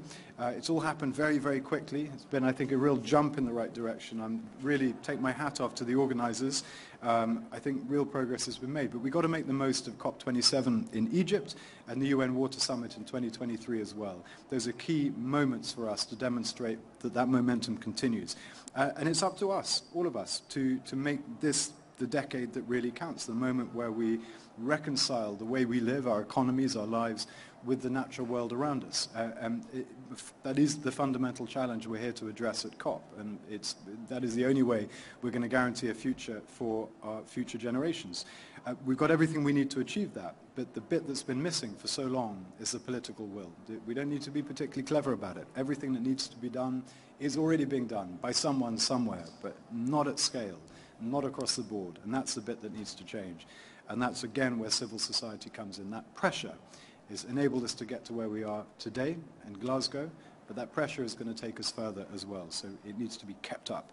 And that's what the Fair Water Footprints Declaration is all about. So we will continue to work very closely with you in the UK. We are proud to do so, and I wish you all the best of luck. Thank, Thank you. you. Thank you, Lord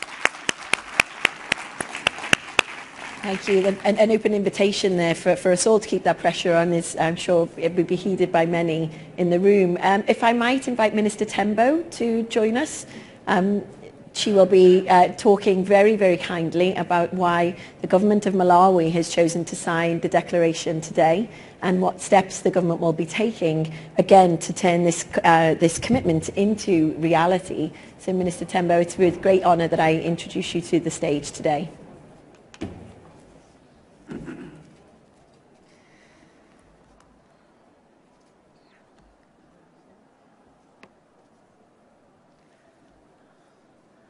I'm so happy to be here this morning uh, to have to commit the Malawi government and, oh, sorry. No, no, no, no, no. Let me Perhaps I should this. That would help too.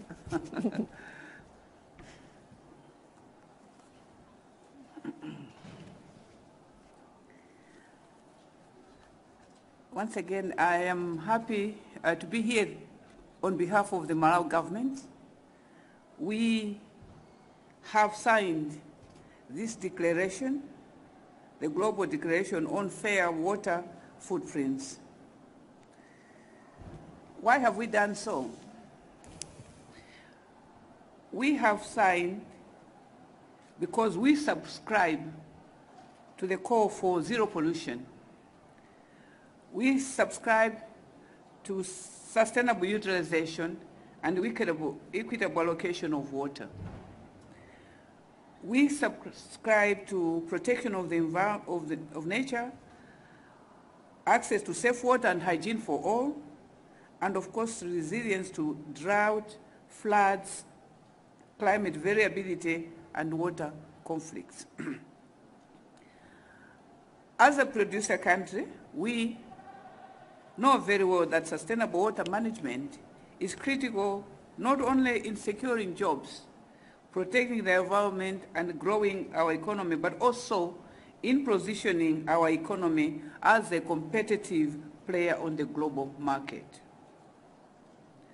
Water footprints being embedded water that is used in the global production and consumption of food, clothes, and other goods have a major influence on society's climate and water challenges. As such, we, as a country that is responsible and that realizes that without water, nothing happens, we have committed to sign this declaration. We are glad that uh, private business in our country is taking responsibility and positioning itself to making sure that it joins the it joins the stewardship of water. We have examples of uh, stewardship, good stewardship of water in a cooperative in southern of Malawi where the tea industry is championing the good use of water. They are recycling, they are monitoring, they are making sure that the water is not being wasted, but also the water that is used within their factories does not go on to pollute the rivers within their vicinity. And therefore, as a country, we commit, as government of Malawi, we're committing that we shall be part of this movement that looks after water, that will ensure that sustainable water use is there done for us, but also for future, future generations. I therefore call upon you here present and those participating virtually to join together in the declaration of the global fair water footprints for sustainable future and the sustainable planet Earth. Thank you very much.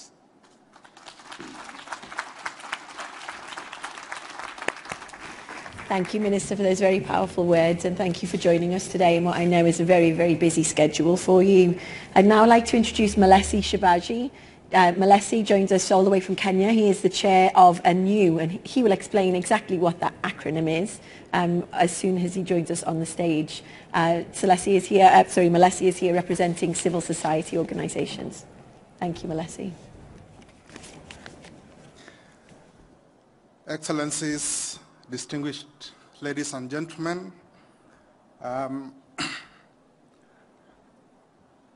the Africa Civil Society Network on Water and Sanitation, ANEW, um, joins the team that has signed this declaration because we look at it as a very important turn in the dual pursuit of water stewardship and climate, just, climate change justice. Today, we have jointly resolved to take transformative action for fair water footprints and which will provide durable benefits for our, for our communities, for our ecosystems, and for our economies, and will further help to achieve the Sustainable Development Goals, and in our case, particularly focusing on Goal 6, which seeks to ensure availability and sustainable management of access to water and sanitation for all.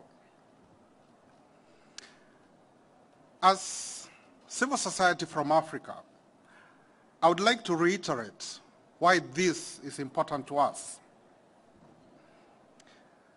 And this is important to us because for far too long, Africa's trade with the rest of the world has largely been driven by extraction and overexploitation of our natural resources. It has resulted in tragic condi conditions for our workers and growing inequality within our communities. And regardless of which industry it is, whether it's textiles, whether it's um, um, agriculture, floriculture, mining, our potential as a continent has continuously been eroded by irresponsible and unethical practices in the globalized supply chains. The abuse of water is top on the list, and it has eh, exacerbated the challenges of an already water-deprived population in a continent bearing the biggest burden in the impacts of climate change. As civil society organizations, we take particular pride in seeing this formal resolution coming to pass. The declaration we signed today re-emphasizes the centrality of improved water management in the response to climate emergency in Africa. And for the first time, looks at water stewardship actions from both the climate change perspective as well as the sustainability perspective. We see this declaration as providing a new mechan uh, mechanism for accountability, which can bolster existing governance efforts globally, but particularly in Africa. And indeed, it sets the pace on the need for new incentives, the drivers and controls to curtail destructive water use, and embed more sustainable modes of water use by business and investors. As the Africa Civil Society Network, and with all our constituencies, we stand tall in supporting this declaration. Civil society will play an important part in providing oversight and accountability monitoring. But we also join in this declaration so that we can ensure the voices of communities, of women, young people, and all the marginalized persons are heard and responded to. We look forward to working closely with the media to ensure a tenacious and informed coverage, and where appropriate, facilitating, convening, and advising as part of the partnership. As I conclude, I want to recognize and salute the impressive leadership we have seen from the government of the UK, uh, led by Lord Goldsmith, and of course the government of Malawi, um, led by the Honorable Minister, and the unique partnership that this uh, initiative provides, including the corporates, the Sanitation and Water for All Partnership, uh, Water Aid, and civil society overall. I call on others to join this bandwagon as we now fold back our sleeves and look forward to working hard towards putting the words that we, are, we have in this declaration into action. Thank you very much. Thank you, Malesi. Um, we're now going to turn the floor over to our final speaker of this session, uh, Kate Gibson, who is here to represent Diageo as their Director of Diageo in Society, um, but it, and is also speaking on behalf of the other businesses that have also signed this declaration today. Thank you, Kate. Over to you. Thank you very much. I hope you can uh, hear me okay. I'm delighted to be joining you virtually, um, and uh, the, the, focus on action here is uh, is brilliant to see. Um, so as uh, what I wanted to do today is just share a little bit of a perspective from um, from the private sector uh, as a founding signatory to the Fair Water Footprint um, Declaration, and it's great to see the momentum uh, that's already being built uh, today. Um, so Diageo is a global beverage company um, with operations around the world. So water is an absolutely essential uh, ingredient in our products, and most importantly, a critical resources for uh, the communities where we live, work, uh, source, and sell and that's why we've been focused on uh, water stewardship since 2007. And that's in, across all of our operations, uh, through our value chain, our sourcing communities, uh, and also critically joining forces with others to advocate uh, for more focus from the private sector and other actors on the water crisis. Uh, and as been, has been discussed today, uh, and is you know, obviously the link between the climate crisis uh, and water stress, both of which are being exacerbated and both of which have a disproportionate impact on uh, on the most vulnerable in society. So um, I share the, uh, the call and the emphasis of our, of our previous speaker in terms of a focus on SDG 6 as a critical unlock uh, to deliver many of the other SDGs in this uh, decade of action through to 2030. Um, and that's why, uh, as part of our 2030 uh, Society 2030 Spirit of Progress plan, which we recently launched, uh, we have ramped up focus uh, in terms of all aspects of water stewardship, um, water use efficiency, particularly in water-stressed areas, water replenishment, uh, focus on the provision of clean water, sanitation and hygiene, and then ramped up focus on collective action uh, in priority water basins. Um, and it's really, it, it's, it's across all those areas that the ambition of this declaration today is just so incredibly critical uh, and why we were very keen um, to, to, to come on board at this early stage. Um, we really recognize the need to collect collaborate with others to deliver uh, not only the targets we want to achieve, but the water security across uh, these water stress basins. And we're actively seeking to collaborate with governments, NGOs, civil society, and other businesses uh, in these basins to collect, collectively address these water risks, support local communities uh, in adaptation to climate change, and transition to this critical water secure future that we need to see. Um, and I think what's great about uh, the action to date and the declaration today is for the first time we have governments, NGOs, civil society, and other stakeholders signing up to this comprehensive declaration of intent for a water secure future. And business has a critical role to play as being part of this progressive commitment. Uh, we're particularly pleased to see the leadership from the UK government uh, from Malawi and from the other governments who've also signed this declaration today. And it really is only by working together that we can achieve the progress we need at the pace we need to move at. Uh, and the global water crisis is immense, as we know, and we have to work together to address this emergency. So I would encourage uh, businesses around the world, small and large, to join forces and to commit to this important declaration. Thank you.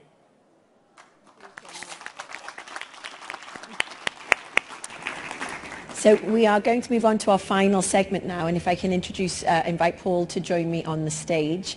Um, we have the, our final statement uh, segment is focused on systemic transformation recognizing that the small the big actions from a small number of institutions is vital of course but the real change is needed within some of the the systems that fundamentally dictate our behavior if we're to deliver change at scale.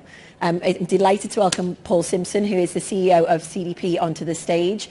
And we also are joined by Jean Boissinot, who is the Deputy Director of Financial Stability at the Banque de France, and also the head of the Secretariat for the NGFS, another acronym for you to get your, your heads and your names, uh, your tongues around, but that is the Network for Greening the Financial System. Financial system. Oh we are having a, um, a, a waterside chat, uh, uh, which will form the, the, the, the, final segment of our day. And I'm hoping that we can go to you, Jean, first um, and have a, a conversation about uh, what the NGFS actually is, perhaps help the audience in the room understand uh, what, what it is that you do. Yes, thanks so much, Kate. And I, I, I mean, I hope you get me uh, okay from, from Paris where I sit. Um, so the NGFS is, um, is a network of uh, 100 members as of uh, yesterday. Well, not yesterday, but the day before. We announced uh, the, uh, the um, you know, we, we welcomed the 100th member to the NGFS. So it's a platform that has been joined by central banks and supervisors who wanted to work together uh, on tackling very difficult issues um, like climate change. But the, the, the acronym Network for Greening the Financial System is actually uh, about more than just climate and we're starting increasingly to focus on other nature-related developments. This is something we do uh, not on top of our mandate or, you know, because we care about, uh, about it uh, for the sake of it, but because we believe that within our mandate and because of our mandate, we need to look at these questions which are, which are uh, questions that have macroeconomic and financial stability implications. So these are central banks believing and understanding that uh, that these um, developments do have a, do have something to to or do mean something uh, for their con the conduct of their mandate that that come together collaborate to understand exactly for all of our business lines uh, what it means to take these into account. The, the NGFS and indeed the Banque de France have been working on. Thank you. Uh, it, it's typical for those of us who've been zooming for the last year and a half. I'm sure we can all appreciate the uh, the challenge of the sounds and the feedback. Um, the NGFS and Banque de France have been working on climate change for some time now. Um, what actions have you taken, and, and what has happened as a result of those actions? Yes, in, in fact, the um, to, to, to I mean get a picture uh, it's, it's perhaps interesting to understand that what we do is, uh, I mean, the reports we publish is only the, uh, the top of the iceberg that you can, that you can see. Uh, so basically, uh, after having understood exactly uh, what it means to um, take into account, or that we need to take into account climate change and other um, nature-related risks into our into into the work, our work, monitoring financial stability, supervising banks, um, implementing monetary policy, and, and so on and so forth. Uh, for each of these business lines, basically, we have sat down and tried to try to you know synthesize the best practices or build the practical tools we need as a as a, a network uh, to be able to take these into uh, into account. Uh, so very concretely, and because we supervise all of the global systemically important uh, bank, for example, two-thirds of the uh, of the uh, globally systemic uh, insurance companies, uh, and we collectively, you know, operate in jurisdictions that represent almost, well, actually more now than 85% of, of global GDP. What it means is that now all the members have the practical tools to turn that into uh, actual action. So, uh, for example, turning turning these reports into uh, supervisory expectations and, and, and getting beyond supervisory expectations by being very practical in what we expect and in telling firms, the firms we supervise, about what we expect to, to see um, in, you know, in their uh, risk management practices, for example. It, it's also um, well, almost 30 institutions that are currently running stress tests on, on climate-related risks, uh, either top-down or bottom-up. And this is something we, we, so what we do basically is then translated by the members uh, very quickly, turned into action very quickly by the, by the members. Uh, one prime example of that is that uh, on, Wednesday morning, the chair of the NGFS, Frank Elderson, has taken the floor uh, at uh, here in, in Glasgow to present the, the NGFS Glasgow Declaration, which was our statement, our commitment to keep on doing the work we are doing. So for example, we are building scenarios that people can use to, uh, to assess their risks. And, and we will be uh, continuing to improve, to upgrade, and to update uh, these scenarios. And along this declaration, we had almost two-thirds of the network members um, saying very concretely, these are the things uh, we will be doing in the coming years. Um, you know, uh, improving and strengthening the, the, supervision of this risk, uh, going for uh, stress testing, uh, changing the way we manage our non-monetary portfolio, taking this risk into or this development into account into uh, into the conduct of monetary policy and, and so on and so forth. So basically, we learn, we build collectively the tools we need to operate and then each and every one member of the network is, is implementing that uh, in his own jurisdiction. So what does that mean for, for water? Indeed, I mean, we, we started, uh, when, we, when we look at climate change, uh, basically we have this uh, very usual uh, way of um, you know, looking at uh, transition risk on one side, physical risk on, on the other. Uh, and when we look at physical risk, water is coming very, very high on the on the on the list. But as as you mentioned, I mean, there are uh, climate change related developments with regard to water, but water goes beyond climate change, um, and and it's also something we are starting to to look at. We are in we are currently investigating um, nature-related risk, uh, i.e., or for example, uh, you know, the risk associated with uh, biodiversity losses and, and so on. And we are trying to understand where we have collective blind spots.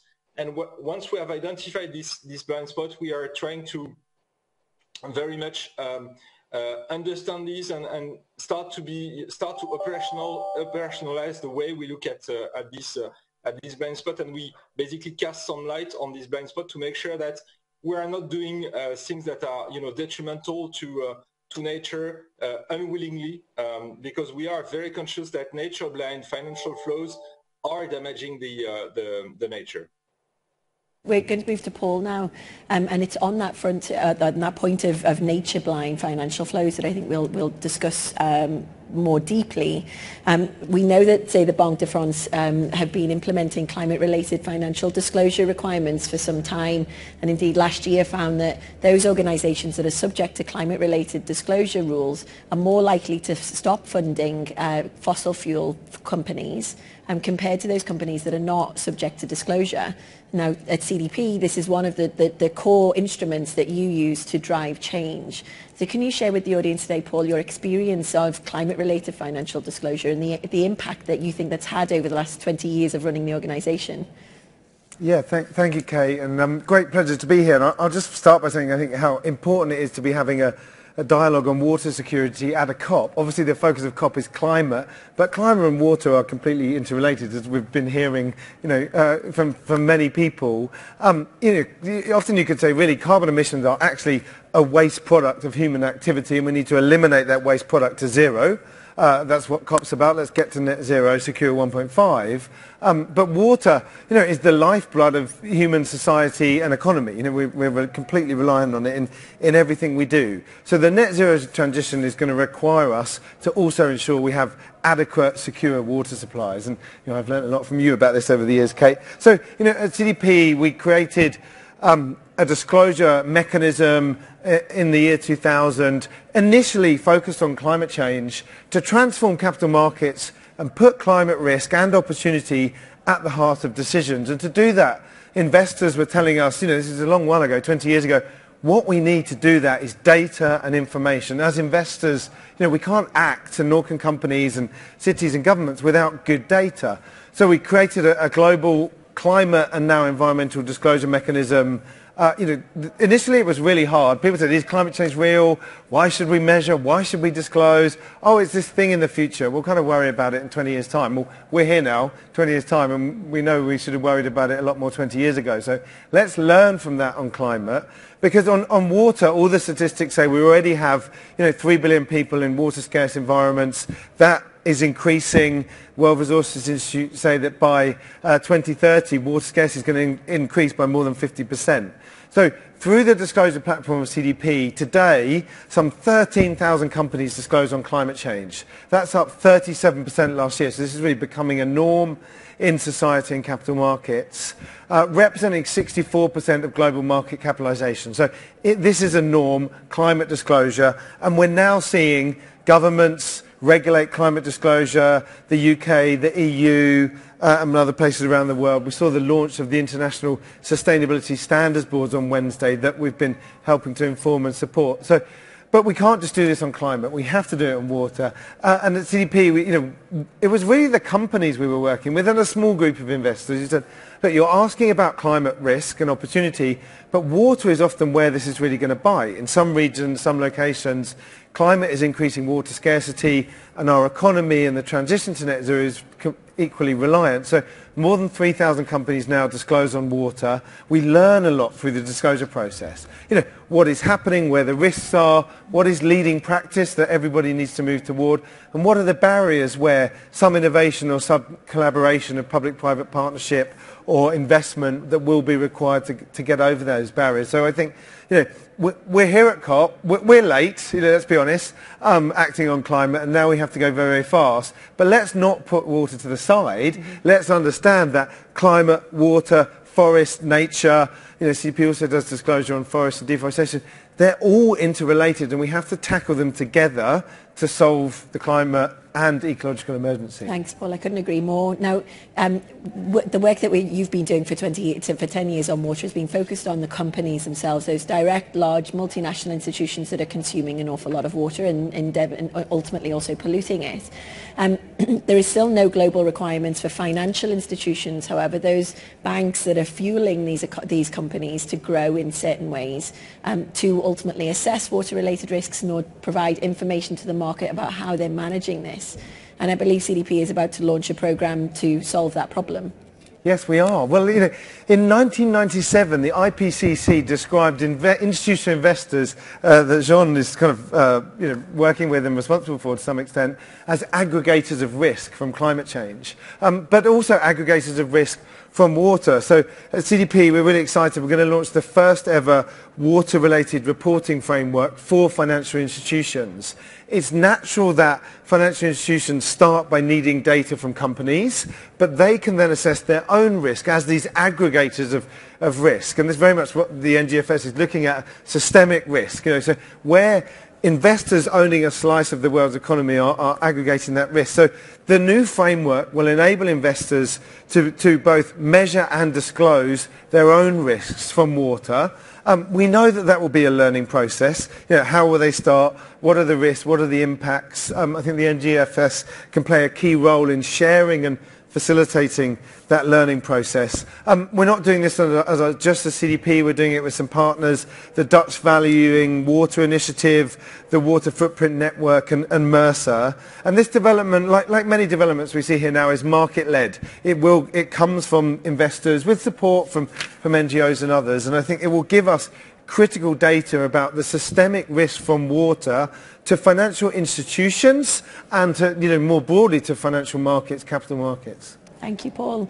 I'm afraid we're at time, so I'm going to call our, our conversation to a close now, but I think it's worth reflecting for the audience that with over $100 trillion worth of assets under management and um, 100, over 100 trillion uh, in loans being issued every year to companies that dictate how those companies grow and where they grow, changing the way in which that finance flows and provides the incentive for companies in particular to behave differently and to begin valuing water in a way in which they are currently not. And that is why I am particularly excited about this work. I'm very pleased to be able to share it with you today. So please join me in thanking our panel today and thank you, Paul. Please uh, make your way up the stage and thank you, John.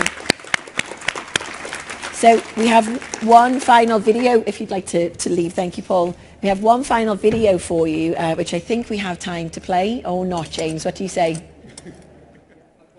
Yes, we have got Penelope Cruz lined up for you. Uh, a little bit of magic for the end of our session before I hand over to, to Henk Ovink, who will provide us with our closing statement. So please watch the screens. I am water. To humans, I am simply just there. I'm something they just take for granted. But there is only so much of me. And more and more of them every single day. I start as rain in the mountains, flow to the rivers and streams, and end up in the ocean. Then the cycle begins again. And it will take me 10,000 years to get back to the state I'm in now. But to humans, I'm just water. Just there. Where will humans find me when there are billions more of them around? Where will they find themselves? Will they wage wars over me, like they do over everything else? That's always an option. But it's not the only option.